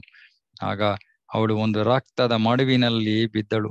ಸೀತೆ ಹಾಗೂ ಸತ್ತಿರುವುದರಿ, ಸೀತೆ ಈಗ ಸತ್ತಿರುವುದರಿಂದ ಅವಳನ್ನು ಬಂಧ ಮುಕ್ತಗೊಳಿಸಬೇಕೆಂಬ ನಿಮ್ಮ ಎಲ್ಲಾ ಪ್ರಯತ್ನಗಳು ವಿಫಲವಾಗಿವೆ ಎಂದು ಹೇಳುತ್ತಾ ಹನುಮಂತನನ್ನು ಮೂದಲಿಸಿದ ಇಂದ್ರಜಿತು ಜೋರಾಗಿ ಗರ್ಜಿಸಿ ವಾನರರನ್ನು ಚಲ್ಲಾಪಿಲ್ಲಿಯಾಗಿಸಿದನು. ಓಡಿ ಹೋಗುತ್ತಿದ್ದ ವಾನರರನ್ನು ಹೇಡಿಗಳೆಂದು ತೆಗಳಿ ಅವರೆಲ್ಲರೂ ಒಂದಾಗಿ ಪುನಃ ಮುನ್ನುಗ್ಗುವಂತೆ ಮಾಡಿ ರಾಕ್ಷಸರನ್ನು ಪ್ರತೀಕಾರದೊಂದಿಗೆ ಧ್ವಂಸ ಮಾಡಲು ಪ್ರಾರಂಭಿಸಿದ ಹನುಮಂತನು ಒಂದು ದೊಡ್ಡ ಬಂಡೆಯನ್ನು ಇಂದ್ರಜಿತುವಿನ ರಥದ ಕಡೆಗೆ ಎಸೆದನು. ರಾಕ್ಷಸನ ಉಪಾಯದಿಂದ ತಪ್ಪಿಸಿಕೊಂಡಾಗ ನೆಲದ ಮೇಲೆ ಬಿದ್ದ ಆ ಬಂಡೆಯು ಅನೇಕ ರಾಕ್ಷಸರನ್ನು ಧ್ವಂಸ ಮಾಡಿ ನೆಲವನ್ನು ಬೇರ್ಪಡಿಸಿ ಭೂಮಿಯೊಳಗೆ ಪ್ರವೇಶಿಸಿತು. ಹನುಮಂತನು ಅನೇಕ ರಾಕ್ಷಸರನ್ನು ಕೊಲ್ಲುವುದನ್ನು ಮುಂದುವರಿಸಿದಾಗ ಇಂದ್ರಜಿತುವು ಅವನನ್ನು ಬಾಣಗಳ ಬಿರುಗಾಳಿಯಿಂದ ತಡೆಯಲು ಯತ್ನಿಸಿದನು. ಸ್ವಲ್ಪ ಸಮಯದ ನಂತರ ಹನುಮಂತನು ಸೀತೆಯು ಕೊಲ್ಲಲ್ಪಟ್ಟಿರುವುದರಿಂದ ವಾನರ ಸೈನ್ಯವು ಹಿಮ್ಮೆಟ್ಟುವುದೇ ಉತ್ತಮ. ನಾನು ರಾಮನಿಗೆ ನಡೆದಿರುವುದೆಲ್ಲವನ್ನು ನಿರೂಪಿಸಿ ಅವನ ಆದೇಶವನ್ನು ಪಡೆಯಬೇಕು ಎಂದು ಯೋಚಿಸಿದನು. ಹನುಮಂತನು ಮತ್ತು ಇತರ ವಾನರರು ಯುದ್ಧ ಭೂಮಿಯನ್ನು ಬಿಟ್ಟ ಬಳಿಕ ರಾಕ್ಷಸರಿಗಾಗಿ ಯಜ್ಞದಲ್ಲಿ ಆಹುತಿಗಳನ್ನು ನೀಡಲು ಸುಖ. ಇಂದ್ರಜಿತುವು ನಿಕುಂಬಿಲವೆಂಬ ಯಜ್ಞಶಾಲೆಗೆ ಹೋದನು. ವಾನರು ಇಂದ್ರಜಿತುವಿನೊಡನೆ ಘೋರವಾಗಿ ಯುದ್ಧ ಮಾಡುತ್ತಿರುವ ಪರಿಯನ್ನು ಸ್ವಲ್ಪ ದೂರದಿಂದ ಕಂಡ ರಾಮನು ಜಾಂಬವಂತನನ್ನು ಅವರ ಸಹಾಯಕ್ಕಾಗಿ ಕಳುಹಿಸಿದನು. ಹಿಮ್ಮೆಟ್ಟುತ್ತಿದ್ದ ಹನುಮಂತ ಹಾಗೂ ಇತರ ವಾನರನ್ನು ಜಾಂಬವಂತನು ದಾರಿಯಲ್ಲೇ ಭೇಟಿ ಮಾಡಿದನು. ಬಳಿಕ ರಾಮನನ್ನು ಭೇಟಿ ಮಾಡಿದ ಹನುಮಂತನು, ಇಂದ್ರಜಿತುವು ಸೀತೆಯನ್ನು ನಿರ್ದಯವಾಗಿ ಕೊಂದಿರುವುದರ ಬಗ್ಗೆ ತಿಳಿಸಿದಾಗ ರಾಮನು ಪ್ರಜ್ಞೆ ತಪ್ಪಿ ನೆಲಕ್ಕೆ ಉರುಳಿದನು. ಅವನ ಬಳಿ ಕೂಡಲೇ ಬಂದ ವಾನರರು ಅವನನ್ನು ಎಚ್ಚರಗೊಳಿಸಲು ನೀರು ಚುಮುಕಿಸಿದರು. ರಾಮನನ್ನು ತನ್ನ ತೋಳುಗಳಲ್ಲಿ ಎತ್ತಿಕೊಂಡ ಲಕ್ಷ್ಮಣನು, ಅಯ್ಯೋ, ಎಂತಹ ಘೋರ ದುರಾದೃಷ್ಟ. ಸದ್ಗುಣವು ಹಾಗೂ ದುರಾಚಾರವು ಪಾತ್ರಗಳನ್ನು ಬದಲಾಯಿಸಿರುವಂತಿದೆ. ಬಹುಶಃ ಸಾಕಷ್ಟು ಶಕ್ತಿ ಇಲ್ಲದಿರುವ ಸದ್ಗುಣವು ಒಳ್ಳೆಯ ಫಲವನ್ನು ನೀಡಲು ಅಸಮರ್ಥವಾಗಿರುವಂತಿದೆ. ಎಲ್ಲಾ ನೀತಿಯ ಗಣನೆಗಳನ್ನು ಮರೆತು ಬಲವನ್ನು ಅವಲಂಬಿಸುವುದೇ ಅತ್ಯುತ್ತಮವೆನಿಸುತ್ತಿದೆ. ಆದ್ದರಿಂದ ಇಂದ್ರಜಿತು ಹಾಗೂ ರಾವಣರ ಸಮೇತ ನಾನು ಇಡೀ ಲಂಕೆಯನ್ನೇ ಸರ್ವನಾಶ ಮಾಡುವ ಪ್ರತಿಜ್ಞೆ ಮಾಡುತ್ತೇನೆ. ನನ್ನ ಪ್ರೀತಿಯ ರಾಮನೇ, ನೀನು ಭಗವಾನ್ ವಿಷ್ಣುವಿನ ಅವತಾರ ಎಂಬ ನಿನ್ನ ದಿವ್ಯ ಸ್ಥಿತಿಯನ್ನು ದಯವಿಟ್ಟು ಸ್ಮರಿಸಿಕೊ ಮತ್ತು ನಿನ್ನ ತೀವ್ರವಾದ ವ್ಯಥೆಯನ್ನು ತ್ಯಜಿಸು ಎಂದು ಹೇಳುತ್ತಾ ಗೋಳಾಡಿದನು. ಎಲ್ಲಾ ವಾನರ ಸೈನಿಕರ ಆತ್ಮವಿಶ್ವಾಸವನ್ನು ಪುನಃಸ್ಥಾಪಿಸಿದ ಬಳಿಕ ಅಲ್ಲಿಗೆ ಬಂದ ವಿಭೀಷಣನು ಮೂರ್ಛಿತನಾಗಿದ್ದ ರಾಮನನ್ನು ತನ್ನ ತೊಡೆಯ ಮೇಲೆ ಮಲಗಿಸಿಕೊಂಡಿದ್ದ ಲಕ್ಷ್ಮಣನನ್ನು ಕಂಡು ಶೋಕಗ್ರಸ್ತನಾಗಿ ಏನಾಯಿತು ಎಂದು ಕೇಳಿದನು. ಲಕ್ಷ್ಮಣನು ಸೀತೆಯ ಮರಣದ ಬಗ್ಗೆ ವಿವರಿಸಲಾರಂಭಿಸಿದಾಗ ಅವನನ್ನು ತಡೆದ ವಿಭೀಷಣನು, ರಾವಣನು ಸ್ವಯಂ ಪ್ರೇರಿತನಾಗಿ ಸೀತೆಯನ್ನು ಬಿಟ್ಟು ಕೊಡಲಾರನು ಆದುದರಿಂದ ಸೀತೆಯನ್ನು ಇಂದ್ರಜಿತವು ಕೊಲ್ಲಲು ಸಾಧ್ಯವೇ ಇಲ್ಲ. ನೀವು ನೋಡಿದ ಸೀತೆಯು ಖಂಡಿತವಾಗಿ ರಾಕ್ಷಸರ ಮಾಯಾಶಕ್ತಿಯಿಂದ ನಿರ್ಮಿಸಲಾಗಿದ್ದ ಒಂದು ಭ್ರಮೆಯೇ ಇರಬೇಕು. ಓ ಲಕ್ಷ್ಮಣನೇ, ನೀನು ಕೂಡಲೇ ನಿಕುಂಬಿಲಕ್ಕೆ ಹೋಗಿ ಯಜ್ಞಾಚರಣೆಯಲ್ಲಿ ನಿರಸನಾಗಿರುವ ಇಂದ್ರಜತುವನ್ನು ಕೊಲ್ಲಬೇಕು. ನೀನು ಅವನನ್ನು ಈಗ ಆಕ್ರಮಿಸದಿದ್ದರೆ ತನ್ನನ್ನು ಮತ್ತೆ ಅದೃಶ್ಯವಾಗಿಸಿಕೊಳ್ಳುವ ಅವನು ಅವಧ್ಯನಾಗುತ್ತಾನೆ ಎಂದನು. ತೀವ್ರವಾಗಿ ಶೋಕಿಸುತ್ತಿದ್ದ ರಾಮನಿಗೆ ವಿಭೀಷಣನ ಮಾತುಗಳು ಸರಿಯಾಗಿ ಅರ್ಥವಾಗಲಿಲ್ಲ. ಅವನು ಆ ಮಾತುಗಳನ್ನು ಮತ್ತೆ ಹೇಳುವಂತೆ ವಿಭೀಷಣಲ್ಲಿ ಕೇಳಿದಾಗ ವಿಭೀಷಣನು ಹೀಗೆ ವಿವರಿಸಿದನು. ಬಹಳ ಹಿಂದೆ ಬ್ರಹ್ಮದೇವನನ್ನು ಬಲಿ ಒಲಿಸಿಕೊಳ್ಳಲು ಇಂದ್ರಜಿತು ಘೋರವಾದ ತಪಗಳನ್ನು ಮಾಡಿದನು. ಬ್ರಹ್ಮಾಸ್ತ್ರವನ್ನು ಹಾಗೂ ಹಾರುವ ಕುದುರೆಗಳನ್ನು ದಯಪಾಲಿಸಿದ ಬ್ರಹ್ಮದೇವನು, ನೀನು ನಿಕುಂಬಿಲದಲ್ಲಿ ಯಜ್ಞಾಚರಣೆಗಳಲ್ಲಿ ನಿರತನಾಗಿರುವಾಗ ಒಬ್ಬ ವೈರಿಯಿಂದ ಕೊಲ್ಲಲ್ಪಡುವೆ ಎಂಬ ಭವಿಷ್ಯವನ್ನು ನುಡಿದನು. ಆದ್ದರಿಂದ ಲಕ್ಷ್ಮಣನು ಅವನನ್ನು ಈ ಕೊಡಲೇ ಕೊಲ್ಲಬೇಕು. ಇಲ್ಲದಿದ್ದರೆ ಅವನು ಎಷ್ಟು ಜ, ಶಕ್ತಿಶಾಲಿಯಾಗುವನೆಂದರೆ ವಾನರರೆಲ್ಲರೂ ಅವನ ಕೈಯಲ್ಲಿ ಖಂಡಿತವಾಗಿ ಹತರಾಗುವರು ಎಂದನು. ಇದನ್ನು ಕೇಳಿದ ರಾಮನು, ಓ ಲಕ್ಷ್ಮಣನೇ ಹನುಮಂತ, ವಿಭೀಷಣ ಮತ್ತು ಉಳಿದ ವಾನರ ಸೈನ್ಯವನ್ನು ಕರೆದುಕೊಂಡು ಹೋಗು ಎಂಬುದಾಗಿ ಆದೇಶಿಸಿದಾಗ ರಾಮನ ಪಾದಗಳನ್ನು ಸ್ಪರ್ಶಿಸಿ ಇಂದ್ರಜಿತುವನ್ನು ಕೊಲ್ಲುವ ಶಪಥಗೈದ ಲಕ್ಷ್ಮಣನು ಅಲ್ಲಿಂದ ಹೊರಟನು. ನಿಕುಂಭಿಲವನ್ನು ಸಮೀಪಿಸಿದ ಲಕ್ಷ್ಮಣನು ಆಗಣಿತ ರಾಕ್ಷಸರು ಅದಕ್ಕೆ ಪಹರೆ ನೀಡುತ್ತಿರುವುದನ್ನು ಕಂಡನು. ಆಗ ವಿಭೀಷಣನು ಮೊದಲು ಇಂದ್ರಜಿತುವಿನ ಸೈನ್ಯವನ್ನು ಆಕ್ರಮಿಸು. ರಾಕ್ಷಸರು ಕಷ್ಟದಲ್ಲಿ ಸಿಲುಕಿದಾಗ ಅವನು ನಮಗೆ ಕಾಣಿಸಿಕೊಳ್ಳುವನು ಎಂದು ಹೇಳಿದನು. ಕದನವು ಪ್ರಾರಂಭವಾಗಿದ್ದು ತನ್ನ ಸೈನ್ಯವು ನಾಶವಾಗುತ್ತಿದೆ ಎಂಬುದನ್ನು ತಿಳಿದ ಇಂದ್ರಜಿತುವು ಯಜ್ಞಾಚರಣೆಯು ಪೂರ್ಣಗೊಳ್ಳುವ ಮುನ್ನವೇ ತನ್ನ ರಥವನ್ನು ಏರಿದನು. ಹನುಮಂತನು ಅನೇಕ ರಾಕ್ಷಸ ಸೈನಿಕರನ್ನು ಸಮರಿಸುತ್ತಿದ್ದನು ಆದರೂ ಇಂದ್ರಜಿತುವಿನ ಉಪಸ್ಥಿತಿಯಿಂದ ಧೈರ್ಯಗೊಂಡ ರಾಕ್ಷಸರು ಹನುಮಂತನ ಕಡೆಗೆ ಕೂಡಲೇ ಧಾವಿಸಿದರು. ಹನುಮಂತನು ರಾಕ್ಷಸರನ್ನು ನಿರ್ಮೂಲ ಮಾಡುವುದನ್ನು ಮುಂದುವರಿಸಿದಾಗ ಇಂದ್ರಜಿತು ಬಾಣಗಳ ಸುರಿಮಳೆಗೈದನು. ನಂತರ ಲಕ್ಷ್ಮಣನನ್ನು ಆಲದ ಮರದ ಕೆಳಗಿದ್ದ ಸ್ಥಳಕ್ಕೆ ಕರೆದುಕೊಂಡು ಹೋದ ವಿಭೀಷಣನು ಇಂದ್ರಜಿತುವಿನ ಯಜ್ಞ ಶಾಲೆಯನ್ನು ತೋರಿಸಿದನು. ಯಜ್ಞಾಚರಣೆಯ ಕಾರ್ಯಗಳನ್ನು ಪೂರ್ಣಗೊಳಿಸಲು ಇಂದ್ರಜಿತುವು ಅಲ್ಲಿಗೆ ಖಂಡಿತವಾಗಿ ಬರುವನೆಂದು ವಿಭೀಷಣನಿಗೆ ತಿಳಿದಿದ್ದರಿಂದ ಲಕ್ಷ್ಮಣನು ಅಲ್ಲೇ ಕಾಯುವಂತೆ ಹಾಗೂ ಇಂದ್ರಜಿತು ಅಲ್ಲಿಗೆ ಬಂದಾಗ ಅವನನ್ನು ಕೂಡಲೇ ಸಮ್ಮಿಲಿಸುವಂತೆ ಒತ್ತಾಯಿಸಿದನು. ಲಕ್ಷ್ಮಣನು ಅಲ್ಲೇ ನಿಂತು ಕಾಯತೊಡಗಿದ ಸ್ವಲ್ಪ ಸಮಯದಲ್ಲೇ ಇಂದ್ರಜಿತುವು ಅಲ್ಲಿಗೆ ಬಂದನು. ಲಕ್ಷ್ಮಣನು ಅವನನ್ನು ಯುದ್ಧಕ್ಕೆ ಆಹ್ವಾನಿಸಿದಾಗ ಬಿ ವಿಭೀಷಣನನ್ನು ನಿಂದಿಸಿದ ಇಂದ್ರಜಿತು, ನನ್ನ ಚಿಕ್ಕಪ್ಪನಾದ ನೀನು ನನಗೆ ಕೇಡು ತರಲು ಏಕೆ ಬಂದಿರುವೆ?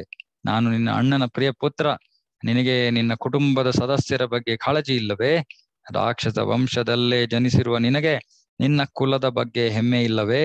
ಕ್ರೂರ ಮೂರ್ಖನೆ, ನಿನ್ನ ಸಂಬಂಧಿಕರ ಮೇಲೆಯೇ ನೀನು ವಿಶ್ವ ವಿಶ್ವಾಸಘಾತ ಮಾಡುತ್ತಿರುವುದು ನಿನಗೆ ಕಾಣಿಸುತ್ತಿಲ್ಲವೇ? ಸಂಬಂಧಿಕರ ಜೊತೆ ಇರುವುದು ಮತ್ತು ಅಪರಿಚಿತರ ಪಾದಗಳನ್ನು ನೆಕ್ಕುವುದರ ಮಧ್ಯೆ ಏನು ವ್ಯತ್ಯಾಸವಿಲ್ಲವೇ? ಒಬ್ಬ ಅಧಮನಾದ ಬಂಧು ಅಪರಿಚಿತರಿಗಿಂತ ಉತ್ತಮನು. ನೀನೊಬ್ಬನೇ ಇಂತಹ ದ್ರೋಹದ ಕೆಲಸವನ್ನು ಮಾಡಬಲ್ಲೆ ಎಂದನು. ಆಗ ವಿಭೀಷಣನು, ಓ, ನನ್ನ ಭ್ರಾತೃ ಪುತ್ರನೇ ನಿನಗೆ ಧರ್ಮದ ಬಗ್ಗೆ ನಿಜವಾದ ಕಾಳಜಿ ಇದ್ದರೆ ನಿನ್ನ ಹಿರಿಯನಾದ ನನ್ನನ್ನು ಏಕೆ ಆಕ್ಷೇಪಿಸುತ್ತಿರುವೆ? ನಾನು ರಾಕ್ಷಸ ವಂಶದಲ್ಲಿ ಹುಟ್ಟಿದ್ದರೂ ನನ್ನ ಸ್ವಭಾವವು ರಾಕ್ಷಸ ಸ್ವಭಾವಕ್ಕಿಂತ ಭಿನ್ನವಾದುದು. ಉದ್ದಟತನ ಮತ್ತು ಕ್ರೌರ್ಯಗಳನ್ನು ನಾನು ದ್ವೇಷಿಸುತ್ತೇನೆ. ನಮ್ಮ ಪರಿವಾರದಲ್ಲಿ ಭೇದವನ್ನು ಉಂಟು ಮಾಡಿರುವವನು ನಾನಲ್ಲ, ನಿನ್ನ ತಂದೆ. ಧರ್ಮದ ವಿಧಿ ನಿಯಮಗಳ ಪ್ರಕಾರ ತಮ್ಮ ಪರಿವಾರದ ಸದಸ್ಯರೇ ಆಗಿದ್ದರೂ ಸರಿ, ಪಾಪ ಮಾಡಿರುವ ಜನರ ಜೊತೆಗ ಜೊತೆ ಜೊತೆಗಿನ ಎಲ್ಲಾ ಸಂಬಂಧಗಳನ್ನು ಕಡಿದು ಹಾಕಬೇಕು. ಪರ ಸ್ತ್ರೀಯರನ್ನು ಅಪಹರಿಸುವವನು ಅತ್ಯಂತ ತುಚ್ಚನು ಅಂತಹವನನ್ನು ದೇಹದ ಮೇಲೆ ಬಿದ್ದಿರುವ ಹಾವನ್ನು ತೆಗೆದು ಬಿಸಾಡುವ ಹಾಗೆ ತಿರಸ್ಕರಿಸಬೇಕು. ಸ್ನೇಹಿತರನ್ನು ಅನುಮಾನಿಸುವುದು, ಪರಸ್ತ್ರೀಯರೊಡನೆ ಲೈಂಗಿಕ ಸಂಬಂಧವನ್ನು ಇಟ್ಟುಕೊಡುವುದು ಅಥವಾ ಇತರರ ಆಸ್ತಿಯನ್ನು ಕದಿಯುವುದು ಇವೆಲ್ಲವೂ ವಿನಾಶಕ್ಕೆ ಕಾರಣವಾಗುತ್ತವೆ. ರಾವಣನು ನಾಶವಾಗುತ್ತಾನೆ. ಅವನ ಜೊತೆ ನೀನು ಹಾಗೂ ಸಂಪೂರ್ಣ ಲಂಕೆಯೂ ನಾಶವಾಗುವುದು. ಇಂದ್ರಜಿತು, ನೀನು ದುರಹಂಕಾರಿಯಾದ ಅಸಭ್ಯ ಬಾಲಕ. ನೀನು ಮನಬಂದಂತೆ ಮಾತನಾಡಬಹುದು, ಆದರೆ ಇನ್ನು ಸ್ವಲ್ಪ ಸಮಯದಲ್ಲೇ ನೀನು ಲಕ್ಷ್ಮಣನ ಬಾಣಗಳಿಂದ ಹತನಾಗುವೆ ಎಂದನು. ಲಕ್ಷ್ಮಣನು ಹನುಮಂತನ ಭುಜದ ಮೇಲೇರಿ ಕುಳಿತನು. ಪರಸ್ಪರ ಸವಾಲುಗಳನ್ನೆಸೆದ ಬಳಿಕ ಇಂದ್ರಜಿತುವು ಲಕ್ಷ್ಮಣನನ್ನು ಎರಡು ಬಾಣಗಳಿಂದ ಛೇದಿಸಿದಾಗ ಲಕ್ಷ್ಮಣನು ಐದು ಬಾಣಗಳನ್ನು ಅವನ ಎದೆಗೆ ಹೊಡೆದನು. ಹೀಗೆ ಒಂದು ಘೋರ ದ್ವಂದ್ವ ಯುದ್ಧವು ಪ್ರಾರಂಭವಾಯಿತು. ಸ್ವಲ್ಪ ಸಮಯದ ಬಳಿಕ ಇಂದ್ರಜಿತುವು ಲಕ್ಷ್ಮಣನ ಬಾಣಗಳಿಂದ ಕಳೆಗುಂದಿದನು. ಆಗ ರಾಕ್ಷಸನನ್ನು ಕೂಡಲೇ ನಾಶ ಮಾಡಬೇಕೆಂದು ವಿಭೀಷಣನು ಲಕ್ಷ್ಮಣನನ್ನು ಒತ್ತಾಯಿಸಿದನು. ಆಗ ಇನ್ನೂ ಪ್ರಬಲವಾದ ಪ್ರಾಣಗಳನ್ನು, ಬಾಣಗಳನ್ನು ಪ್ರಯೋಗಿಸಿದ ಲಕ್ಷ್ಮಣನು ಇಂದ್ರಜಿತುವನ್ನು ತಾತ್ಕಾಲಿಕವಾಗಿ ಕಕ್ಕಾ ಬಿಕ್ಕಿಯಾಗಿಸಿದನು ಆದರೆ ಸ್ವಲ್ಪ ಸಮಯದಲ್ಲೇ ಚೇತರಿಸಿಕೊಂಡ ಇಂದ್ರಜಿತುವು, ನಾನು ನಿನ್ನನ್ನು ಹಿಂದೆ ಹೀಗೆ ಹೇಗೆ ಸೋಲಿಸಿದೆ ಎಂಬುದು ನಿನಗೆ ನೆನಪಿಲ್ಲವೇ? ಎಂದು ಹೇಳಿ ಲಕ್ಷ್ಮಣನನ್ನು ಏಳು ಬಾಣಗಳಿಂದ, ಹನುಮಂತನನ್ನು ಹತ್ತು ಬಾಣಗಳಿಂದ ಮತ್ತು ವಿಭೀಷಣನನ್ನು ನೂರು ಬಾಣಗಳಿಂದ ಛೇದಿಸಿದನು. ಸುಮ್ಮನೆ ನಕ್ಕ ಲಕ್ಷ್ಮಣನು ಇಂದ್ರಜಿತುವನ್ನು ಬಾಣಗಳಿಂದ ಮತ್ತೆ ಆವರಿಸಿ ಅವನ ಸುವರ್ಣ ಕವಚವನ್ನು ಚೂರು ಚೂರು ಮಾಡಿದನು. ಇಂದ್ರಜಿತುವು ಸಾವಿರ ಬಾಣಗಳನ್ನು ಬಿಟ್ಟಾಗ ಲಕ್ಷ್ಮಣನ ಕವಚವು ಕೂಡ ಛಿದ್ರವಾಯಿತು. ಹೀಗೆ ಯಾರೂ ಮೇಲ್ಗೈ ಸಾಧಿಸಲಿಲ್ಲ. ಹೀಗೆ ಕದನವು ಬಹಳ ಸಮಯ ನಡೆಯಿತು. ಜಯ ಸಾಧಿಸಲು ದೃಢ ಸಂಕಲ್ಪಿತರಾಗಿದ್ದ ಇಬ್ಬರು ಪರಸ್ಪರರಿಗೆ ಬಾಣಗಳಿಂದ ಹೊಡೆದರು. ಅವರ ದೇಹಗಳನ್ನು ಛೇದಿಸಿದ ಅಗಣಿತ ಬಾಣಗಳು ಭೂಮಿಯನ್ನು ಪ್ರವೇಶಿಸಿ ಅವರ ದೇಹಗಳಿಂದ ರಕ್ತ ಚಿಮ್ಮುವ ಹಾಗೆ ಮಾಡಿದವು. ತಟಸ್ಥಗೊಂಡ ಬಾಣಗಳು ನೆಲದ ಮೇಲೆ ಕುಶ ಹುಲ್ಲಿನಂತೆ ಎಲ್ಲೆಡೆ ಹರಡಿದವು. ಲಕ್ಷ್ಮಣನಾಗಲಿ, ಇಂದ್ರಜಿತುವಾಗಲಿ ದಣಿಯಲಿಲ್ಲ. ಹೀಗೆ ಯುದ್ಧ ನಡೆಯುತ್ತಿದ್ದಾಗ ತನ್ನ ಅಣ್ಣನ ಮಗನೊಡನೆ ಯುದ್ಧ ಮಾಡಲು ಇಚ್ಛಿಸದೇ ಇದ್ದ ವಿಭೀಷಣನು ಇತರ ರಾಕ್ಷಸರನ್ನು ಆಕ್ರಮಿಸಿದನು. ಜಾಂಬವಂತನು ರಾಕ್ಷಸರನ್ನು ಧ್ವಂಸ ಮಾಡಲು ಆರಂಭಿಸಿದಾಗ ಯುದ್ಧವು ಇನ್ನೂ ಭೀಕರವಾಯಿತು. ಯುದ್ಧದಲ್ಲಿ ಭಾಗಿಯಾಗಲು ಇಚ್ಛಿಸಿದ ಹನುಮಂತನು ಲಕ್ಷ್ಮಣನನ್ನು ತನ್ನ ಬೆನ್ನಿನ ಮೇಲಿಂದ ಕೆಳಗಿಳಿಸಿ ಸಾವಿರಾರು ರಾಕ್ಷಸರನ್ನು ಧ್ವಂಸ ಮಾಡಲು ಮುಂದಾದನು. ಸೂರ್ಯನು ಕ್ಷಿತಿಜದಲ್ಲಿ ಮುಳುಗುತ್ತಿದ್ದಂತೆ ಲಕ್ಷ್ಮಣನ ಹಾಗೂ ಇಂದ್ರಜಿತುವಿನ ಬಾಣಗಳಿಂದ ಆಕಾಶವು ಬಹಳವಾಗಿ ಕಪ್ಪಾಯಿತು. ಅವರಿಬ್ಬರ ಬಿಲ್ಲುಗಳು ಅದೆಷ್ಟು ವೇಗವಾಗಿ ಕಾರ್ಯವೆಸಗುತ್ತಿದ್ದವು ಎಂದರೆ ಅವರ ಭುಜಗಳ ಚಲನೆಯನ್ನು ಗ್ರಹಿಸಲಾಗಲಿಲ್ಲ. ಲಕ್ಷ್ಮಣನು ಪ್ರಯೋಗಿಸಿದ ಒಂದು ಬಾಣವು ಇಂದ್ರಜಿತುವಿನ ಸಾರಥಿಯ ತಲೆಯನ್ನು ಕತ್ತರಿಸಿದಾಗ ರಾಕ್ಷಸನು ತನ್ನ ರಥವನ್ನು ತಾನೇ ಚಲಿಸುತ್ತಾ ಬಾಣಗಳನ್ನು ಬಿಡಬೇಕಾಯಿತು. ಆಗ ತನ್ನ ವೈರಿಯನ್ನು ಇನ್ನೂ ಸುಲಭವಾಗಿ ಛೇದಿಸುವ ಅವಕಾಶವು ಲಕ್ಷ್ಮಣನಿಗೆ ದೊರಕಿತು. ಸ್ವಲ್ಪ ಸಮಯದ ನಂತರ ಇಂದ್ರಜಿತುವು ತನ್ನ ಶಕ್ತಿಯನ್ನು ಕಳೆದುಕೊಳ್ಳುವ, ಕೊಳ್ಳಲು ಪ್ರಾರಂಭಿಸಿದನು. ಇಂದ್ರಜಿತುವಿನ ಕುದುರೆಗಳ ಮೇಲೆ ಹಾರಿದ ನಾಲ್ಕು ವಾನರ ಯೋಧರು ತಮ್ಮ ಮಾ ಮೊನಚಾದ ಹಲ್ಲುಗಳಿಂದ ಮತ್ತು ಉಗುರುಗಳಿಂದ ಅವುಗಳನ್ನು ಹರಿದು ಅವರ ರಥವನ್ನು ಪುಡಿ ಪುಡಿ ಮಾಡಿದರು. ಆಗ ಇಂದ್ರಜಿತು ರಥದಿಂದ ಅನಿವಾರ್ಯವಾಗಿ ಕೆಳಗಿಳಿಯಬೇಕಾಯಿತು. ಆ ದಟ್ಟ ಕತ್ತಲಿನಲ್ಲಿ ಲಕ್ಷ್ಮಣನು ತನ್ನ ವೈರಿಯನ್ನು ಸಮೀಪಿಸಲು ಪ್ರಾರಂಭಿಸಿದನು. ಬೇರೆ ರಥವನ್ನು ತರಲು ಲಂಕೆಗೆ ಹೊರಟ ಇಂದ್ರಜಿತುವು ತನ್ನ ರಾಕ್ಷಸ ಸೈನಿಕರಿಗೆ ಕದನದಲ್ಲಿ ನಿರತರಾಗಿರುವಂತೆ ಆದೇಶಿಸಿದನು. ಸ್ವಲ್ಪ ಸಮಯದ ನಂತರ ಉತ್ಸಾಹದಿಂದ ಯುದ್ಧ ಭೂಮಿಗೆ ಹಿಂದಿರುಗಿದ ಇಂದ್ರಜಿತುವು ಸಾವಿರಾರು ವಾನರನ್ನು ಕೊಲ್ಲಲು ಪ್ರಾರಂಭಿಸಿದನು. ಸೈನ್ಯವು ಲಕ್ಷ್ಮಣನ ಆಶ್ರಯಕ್ಕೆ ಓಡಿದಾಗ ಇಂದ್ರಜಿತುವಿನ ಬಿಲ್ಲನ್ನು ಮುರಿದ ಲಕ್ಷ್ಮಣನು ಅವನು ಅವನ ಎದೆಯನ್ನು ಐದು ಬಾಣಗಳಿಂದ ಛೇದಿಸಿದನು. ಅದಕ್ಕೆ ಉತ್ತರವಾಗಿ, ಇಂದ್ರಜಿತುವು ಇನ್ನೂ ಹೆಚ್ಚು ಬಲವುಳ್ಳ ಬಿಲ್ಲನ್ನು ತೆಗೆದುಕೊಂಡನು. ಆದರೆ ಅವನ ಬಿಟ್ಟ ಎಲ್ಲಾ ಬಾಣಗಳನ್ನು ಲಕ್ಷ್ಮಣನು ಪರಾಸ್ತ್ರಗೊಳಿಸಿದನು ಚೈತನ್ಯವು ಉಬ್ಬರಿಸಿ ಲಕ್ಷ್ಮಣನು ಪ್ರತಿಯೊಬ್ಬ ರಾಕ್ಷಸನನ್ನು ಎರಡು ಬಾಣಗಳಿಂದ ಹೊಡೆದನು ಹಾಗೂ ಇಂದ್ರಜಿತುವನ್ನು ಘಾಸಿಗೊಳಿಸಿದನು. ಇಂದ್ರಜಿತು ಬಾಣಗಳ ಒಂದು ಬಿರುಗಾಳಿಯಿಂದ ಪ್ರತ್ಯುತ್ತರಿಸಿದಾಗ ಅವನ ಸಾರಥಿಯ ತಲೆಯನ್ನು ಕತ್ತರಿಸಿದ ಲಕ್ಷ್ಮಣನು ಅವನು ಕುದುರೆ ಕುದುರೆಗಳೆಡೆಗೆ ಬಾಣಗಳನ್ನು ಪ್ರಯೋಗಿಸಿರಿ ಅವನು ಗೊಂದಲಕ್ಕೊಳಗಾಗುವಂತೆ ಮಾಡಿದನು. ಇಂದ್ರಜಿತುವಿನ ಬಾಣಗಳು ಲಕ್ಷ್ಮಣನ ಕವಚಕ್ಕೆ ಹೊಡೆದು ಸುಮ್ಮನೆ ಚಟ್ಟನೆ ಹಾರುತ್ತಿದ್ದವು. ಲಕ್ಷ್ಮಣನ ಕವಚವು ಅಭೇದ್ಯವೆಂದು ತಿಳಿದ ಇಂದ್ರಜಿತುವು ಲಕ್ಷ್ಮಣನ ಹಣೆಗೆ ಬಾಣಗಳನ್ನು ಹೊಡೆಯಲು ಪ್ರಾರಂಭಿಸಿದನು. ಗಾಯಗೊಂಡಿದ್ದರೂ ಕೂಡ ಲಕ್ಷ್ಮಣನು ಇಂದ್ರಜಿತುವಿನ ಮುಖಕ್ಕೆ ಐದು ಬಾಣಗಳನ್ನು ಹೊಡೆದನು. ನಂತರ ಇಂದ್ರಜಿತುವು ವಿಭೀಷಣನ ಮುಖವನ್ನು ಮೂರು ಬಾಣಗಳಿಂದ ತಿವಿದಾಗ ಇದರಿಂದ ಕೋಪಗೊಂಡ ವಿಭೀಷಣನು ತನ್ನ ಗದೆಯನ್ನು ತಿರುಗಿಸುತ್ತಾ ತನ್ನ ಅಣ್ಣನ ಮಗನೆಡೆಗೆ ನುಗ್ಗಿದನು. ವಿಭೀಷಣನು ತನ್ನ ಕುದುರೆಗಳನ್ನು ಗುದ್ದಿ ಕೊಂದಾಗ ತನ್ನ ರಥದಿಂದ ಹೊರಜಿಗಿದ ಇಂದ್ರಜಿತುವು ತನ್ನ ಚಿಕ್ಕಪ್ಪನೆಡೆಗೆ ಬಲ್ಲೆಯೊಂದನ್ನು ಎಸೆದನು. ಆಗ ಅಡ್ಡ ಬಂದ ಲಕ್ಷ್ಮಣನು ಆ ಬಲ್ಲೆಯನ್ನು ತನ್ನ ಬಾಣಗಳಿಂದ ಚೂರು ಮಾಡಿದನು.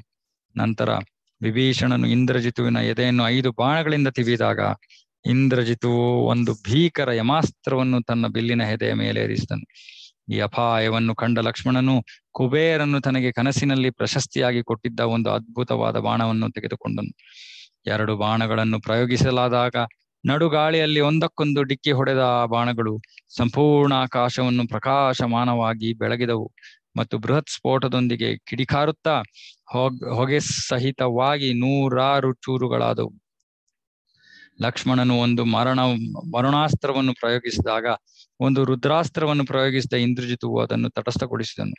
ಆಕ್ರಮಣಕಾರಿಯಾದ ಇಂದ್ರಜಿತುವು ಒಂದು ಆಗ್ನೇಯಾಸ್ತ್ರ ಪ್ರಯೋಗಿಸಿದಾಗ, ಲಕ್ಷ್ಮಣನು ಅದನ್ನು ಒಂದು ಸೂರ್ಯಾಸ್ತ್ರದಿಂದ ಪರಾಸ್ತ್ರಗೊಳಿಸಿದನು.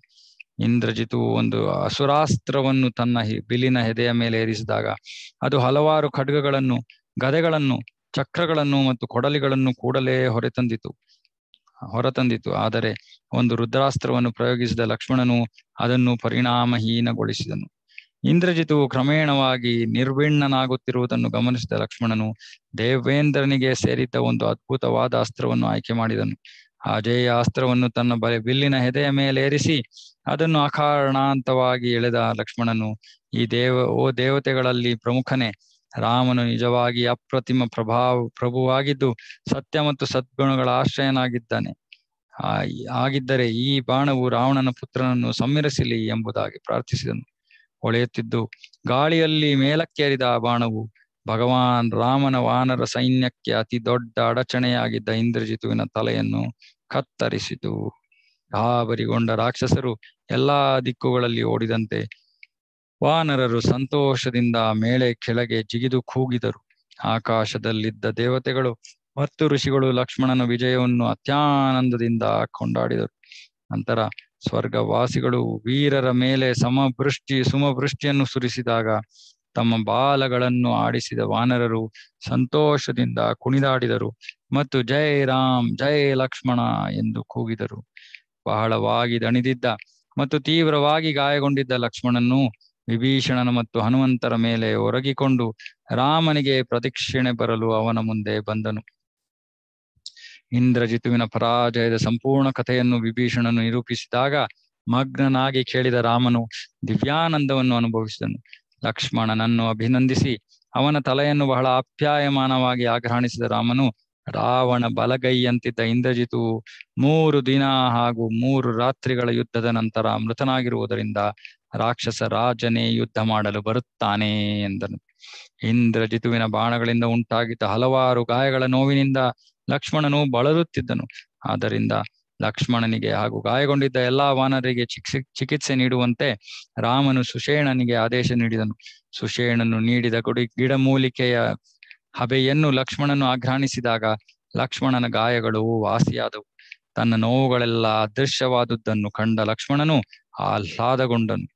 ಲಕ್ಷ್ಮಣನು ಇಂದ್ರಜಿತುವನ್ನು ವಿಭೀಷಣನ ಸಹಾಯದಿಂದ ಹೇಗೆ ಕೊಂದನೆಂಬುದನ್ನು ರಾವಣನ ಮಂತ್ರಿಗಳು ಅವನಿಗೆ ತಿಳಿಸಿದರು. ಈ ವಿಷಯವನ್ನು ಕೇಳಿದ ರಾವಣನು ಪ್ರಜ್ಞೆ ತಪ್ಪಿದನು. ಅವನಿಗೆ ಚೇತರಿಸಿಕೊಳ್ಳಲು ಬಹಳ ಸಮಯ ಬೇಕಾಯಿತು. ತನ್ನ ನಿಯೋಜಿತ ಉತ್ತರಾಧಿಕಾರಿಯು, ಉತ್ತರಾಧಿಕಾರಿಯ ಸಾವಿನಿಂದ ತೀವ್ರವಾಗಿ ದುಃಖಪಟ್ಟು ಬಹಳ ಕ್ರುದ್ಧನಾದ ರಾವಣನು ಸೀತೆಯನ್ನು ಕೊಂದು ತನ್ನ ಹಗೆಯನ್ನು ತೀರಿಸಿಕೊಳ್ಳಲು ನಿರ್ಧರಿಸಿದನು ನಿರ್ಧರಿಸಿದನು. ಇದನ್ನು ಘೋಷಿಸಿದ ಬಳಿಕ ಅವನ ರೂಪವು ಅದೆಷ್ಟು ಭಯಾನಕವಾಯಿತೆಂದರೆ ಇತರ ರಾಕ್ಷಸರು ಕೂಡ ಭಯದಿಂದ ಅಡಗಿಕೊಂಡರು. ಬ್ರಹ್ಮದೇವನು ತನಗೆ ಪ್ರಶಸ್ತಿಯಾಗಿ ಕೊಟ್ಟಿದ್ದ ಅಭೇದ್ಯ ಕವಚವೊಂದನ್ನು ಹಾಗೂ ಬಿಲ್ಲು ಬಾಣಗಳನ್ನು ತರಿಸಿ, ತರಿಸಿಕೊಂಡ ರಾವಣನು ವೈರಿಯನ್ನು ಪೀಡಿಸುವ ಸಲುವಾಗಿ ಇಂದ್ರಜಿತು ಮಾಡಿದ ತಂತ್ರವನ್ನು ನಾನೀಗ ನಿಜ ಮಾಡುತ್ತೇನೆ ಎಂಬುದಾಗಿ ಘೋಷಿಸಿದನು. ತನ್ನ ಖಡ್ಗವನ್ನು ಅದರ ಕೋಶದಿಂದ ಜೋರಾಗಿ ಹೊರತೆಗೆದ ಅವನು ಮಂಡೋದರಿ ಹಾಗೂ ತನ್ನಿತರ ಮಂತ್ರಿಗಳಿಂದ ಹಿಂಬಾಲಿಸಲ್ಪಟ್ಟು ಅಶೋಕವನಕ್ಕೆ ಧಾವಿಸಿದನು. ಅವನ ಹಿತೈಷಿಗಳು ಅವನನ್ನು ತಡೆಯಲು ಪ್ರಯತ್ನಿಸಿದರಾದರೂ ಅವನು ಭಯಗೊಂಡಿದ್ದ ಸೀತೆಯ ಮುಂದೆ ತ್ವರಿತವಾಗಿ ಬಂದನು.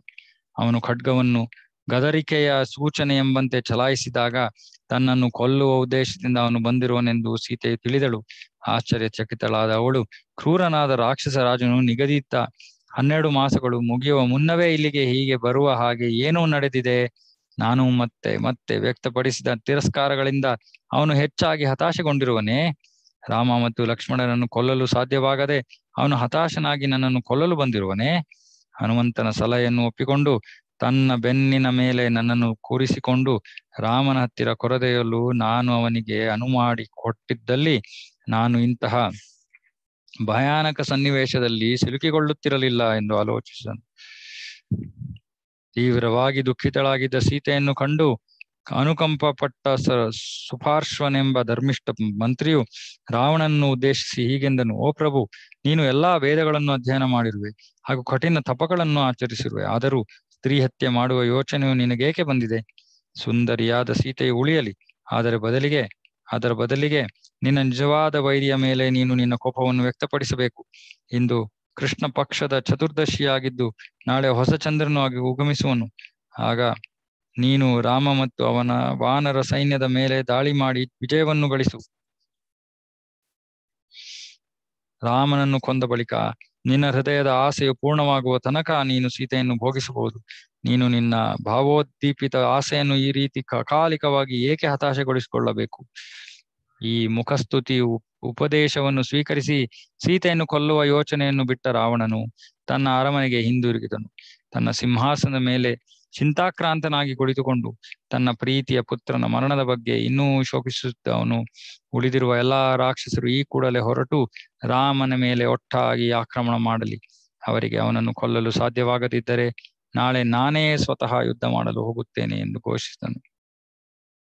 ಮುಂಜಾನೆಗೆ ಸ್ವಲ್ಪ ಮುನ್ನವೇ ಯುದ್ಧಾಕಾಂಕ್ಷಿಗಳಾಗಿದ್ದ ರಾಕ್ಷಸರು ತಮ್ಮ ನಗರದಿಂದ ಹೊರಬಂದಾಗ ಒಂದು ಘೋರವಾದ ಕಾಳಗವು ಆರಂಭವಾಯಿತು. ಕೋಪಗೊಂಡಿದ್ದ ರಾಕ್ಷಸರು ಅನೇಕ ವಾನರ ಸೈನಿಕರ ವಧೆ ಮಾಡಿದಾಗ ಉಳಿದವರು ಅವನ ಪಾದ ಪದ್ಮಗಳ ಆಶ್ರಯ ಪಡೆಯಲು ಓಡಿದರು. ಆಗ ರಾಮನು ಪ್ರಯೋಗಿಸಿದ ಒಂದು ಅದ್ಭುತವಾದ ಗಂಧರ್ವಾಸ್ತ್ರವು ಅಗಣಿತ ಬಾಣಗಳ ಪ್ರವಾಹವನ್ನು ಹರಿಸಿತು ಆ ಬಾಣಗಳ ಸುರಿಮಳೆ ಎಷ್ಟು ದಟ್ಟವಾಯಿತೆಂದರೆ ರಾಮನು ಕಾಣದಾಗಿ ಅಗಣಿತ ರಾಕ್ಷಸರ ಸಂಹಾರವು ಮಾತ್ರ ಕಂಡು ಬಂತು. ಆ ಗಂಧರ್ವಾಸ್ತ್ರದ ಕಾರಣದಿಂದಾಗಿ ರಾಮನು ಕೆಲವೊಮ್ಮೆ ಅದೃಶ್ಯನಾದಂತೆ ಕಂಡು ಬಂದನು ಮತ್ತು ಇನ್ನೂ ಕೆಲವೊಮ್ಮೆ ಒಂದು ಸಾವಿರ ಒಂದು ಸಾವಿರ ರಾಮರು ಎಲ್ಲಾ ದಿಕ್ಕಿನಲ್ಲೂ ನಿಂತಿರುವಂತೆ ಕಂಡು ಬಂತು. ತೊಂಬತ್ತು ನಿಮಿಷಗಳಲ್ಲಿ ರಾಮನು ಎರಡು ಲಕ್ಷ ಪದಾತಿಗಳನ್ನು, ಹದಿನೆಂಟು ಸಾವಿರ ಗಜಸವಾರರನ್ನು, ಹದಿನಾಲ್ಕು ಸಾವಿರ ಅಶ್ವರೋಹಿ ಸೈನಿಕರನ್ನು ಮತ್ತು ಹಲವಾರು ರಥಿಕರನ್ನು ಸಂಹರಿಸಿದನು. ಆಗ ಉಳಿದವರು ರಕ್ಷಣೆಗಾಗಿ ಲಂಕೆಗೆ ಓಡಿದರು. ಆಗ ಆಕಾಶದಲ್ಲಿ ನೆರೆದಿದ್ದ ದೇವತೆಗಳು ಹರ್ಷೋಲ್ಲಾಸಿತರಾಗಿ ಅವನ ವಿಜಯಕ್ಕಾಗಿ ರಾಮನನ್ನು ಹೊಗಳಿದರು. ಆಗ ರಾಮನು ಓ ಮಹಾ ವಾನರ ವೀರರೇ, ಇಂತಹ ಸ್ವರ್ಗೀಯ ಅಸ್ತ್ರಗಳನ್ನು ಉಪಯೋಗಿಸುವ ಸಾಮರ್ಥ್ಯವು ನನಗೆ ಮತ್ತು ಭಗವಾನ್ ಶಿವನಿಗೆ ಮಾತ್ರ ಇದೆ ಎಂಬುದನ್ನು ನೀವು ತಿಳಿಯಬೇಕು ಎಂದು ಹೇಳಿದನು. ಈ ನಡುವೆ ಒಟ್ಟಾಗಿ ಸೇರಿ ಓಡಾಡತೊಡಗಿದ ರಾಕ್ಷಸ ಯೋಧರ ವಿಧವೆಯರು ರಾಮ ಮತ್ತು ರಾವಣರ ಮೇ, ನಡುವಿನ ಶತ್ರುತ್ವಕ್ಕೆ ಮತ್ತು ನಮ್ಮ ವಂಶದ ನಾಶಕ್ಕೆ ಮೂಲ ಕಾರಣಲಾದ ಶೂರ್ಪಣಕಿಯನ್ನು ನಾವು ಶಪಿಸೋಣ. ರಾಮನು ರಾವಣನನ್ನು ಅನೇಕ ಬಾರಿ ಹಿಂದೆ ಪರಾಜಯಗೊಳಿಸುವುದರಿಂದ ರಾವಣನಿಗೆ ರಾಮನ ಅಜೇಯ ಶಕ್ತಿಯ ಬಗ್ಗೆ ಚೆನ್ನಾಗಿ ತಿಳಿದಿರಬೇಕಿತ್ತು. ವಿಭೀಷಣನ ಉಪದೇಶವನ್ನು ಸ್ವೀಕರಿಸಿ, ನಮ್ಮ ಮೂರ್ಖ ರಾಜನು ಈ ಸಾಮೂಹಿಕ ಸಂಹಾರವನ್ನು ತಡೆಗಟ್ಟಬಾರದಿತ್ತೆ? ಎಂದರು.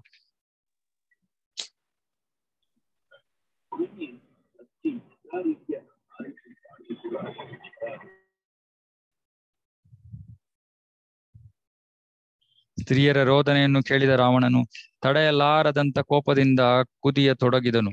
ತುಳಿಯಲ್ಪಟ್ಟ ಸರ್ಪದಂತೆ ಬಸುಗುಟ್ಟುತ್ತಿದ್ದ ಅವನು ನನ್ನ ಸೈನ್ಯವನ್ನು ಯುದ್ಧಕ್ಕೆ ಕೂಡಲೇ ಸಿದ್ಧಪಡಿಸಿ. ನಾನು ರಾಮ, ಲಕ್ಷ್ಮಣ ಮತ್ತು ಎಲ್ಲಾ ವಾನರ ಯೋಧರನ್ನು ನನ್ನ ಬಾಣಗಳ ಸುರಿಮಳೆಯಿಂದ ಹಿಂದೆ ಕೊಲ್ಲುತ್ತೇನೆ. ನನ್ನ ರಥವನ್ನು ತನ್ನಿ ಮತ್ತು ಪ್ರತಿಯೊಬ್ಬ ದೃಢಕಾಯ ರಾಕ್ಷಸ ಸೈನಿಕನು ನನ್ನನ್ನು ಹಿಂಬಾಲಿಸುವಂತೆ ಖಚಿತಗೊಳಿಸಿ ಎಂಬ ಆದೇಶವನ್ನು ತನ್ನ ಮಂತ್ರಿಗಳಿಗೆ ನೀಡಿದನು. ರಾವಣನ ಆದೇಶದ ಮೇರೆಗೆ ಒಂದು ಲಕ್ಷ ರಥಗಳು, ಮೂರು ಲಕ್ಷ ಆನೆಗಳು, ಆರು ಕೋಟಿ ಅಶ್ವಾರೋಹಿ ಸೈನಿಕರು ಮತ್ತು ಆಗಣಿತ ಪದಾತಿ ಸೈನಿಕರು ಒಟ್ಟುಗೂಡಿದರು. ನಂತರ ಎಂಟು ಕುದುರೆಗಳಿಂದ ಎಳೆಯಲ್ಪಟ್ಟಿರುವ ತನ್ನ ರಥವನ್ನು ಏರಿದ ರಾವಣನು ಪ್ರಮುಖ ದೇವತೆಗಳು ತನಗೆ ಹಿಂದೆ ನೀಡಿದ್ದ ಅನೇಕ ಅಸ್ತ್ರಗಳೊಂದಿಗೆ ಅಣಿಯಾದನು. ತನ್ನ ಅರಮನೆಯಿಂದ ಹೊರಗೆ ಬಂದ ರಾವಣನನ್ನು ಶಂಖಗಳ ಮತ್ತು ತುತ್ತೂರಿಗಳ ಊದುವಿಕೆಯಿಂದ ತುಂಬಿದ್ದ ಪ್ರಕ್ಷುಬ್ಧ ಆಡಂಬರದ ಪ್ರದರ್ಶನದೊಂದಿಗೆ ಹಾಗೂ ಪ್ರಜೆಗಳ ಉತ್ತೇಜನ ಭರಿತ ಕೂಗುಗಳೊಂದಿಗೆ ಸ್ವಾಗತಿಸಲಾಯಿತು. ಈ ಕೂಗನ್ನು ಕೇಳಿದ ವಾನರ ಹೃದಯಗಳನ್ನು ಭಯ ಮತ್ತು ಆತಂಕದ ಭಾವನೆಗಳು ಪ್ರವೇಶಿಸಿದವು.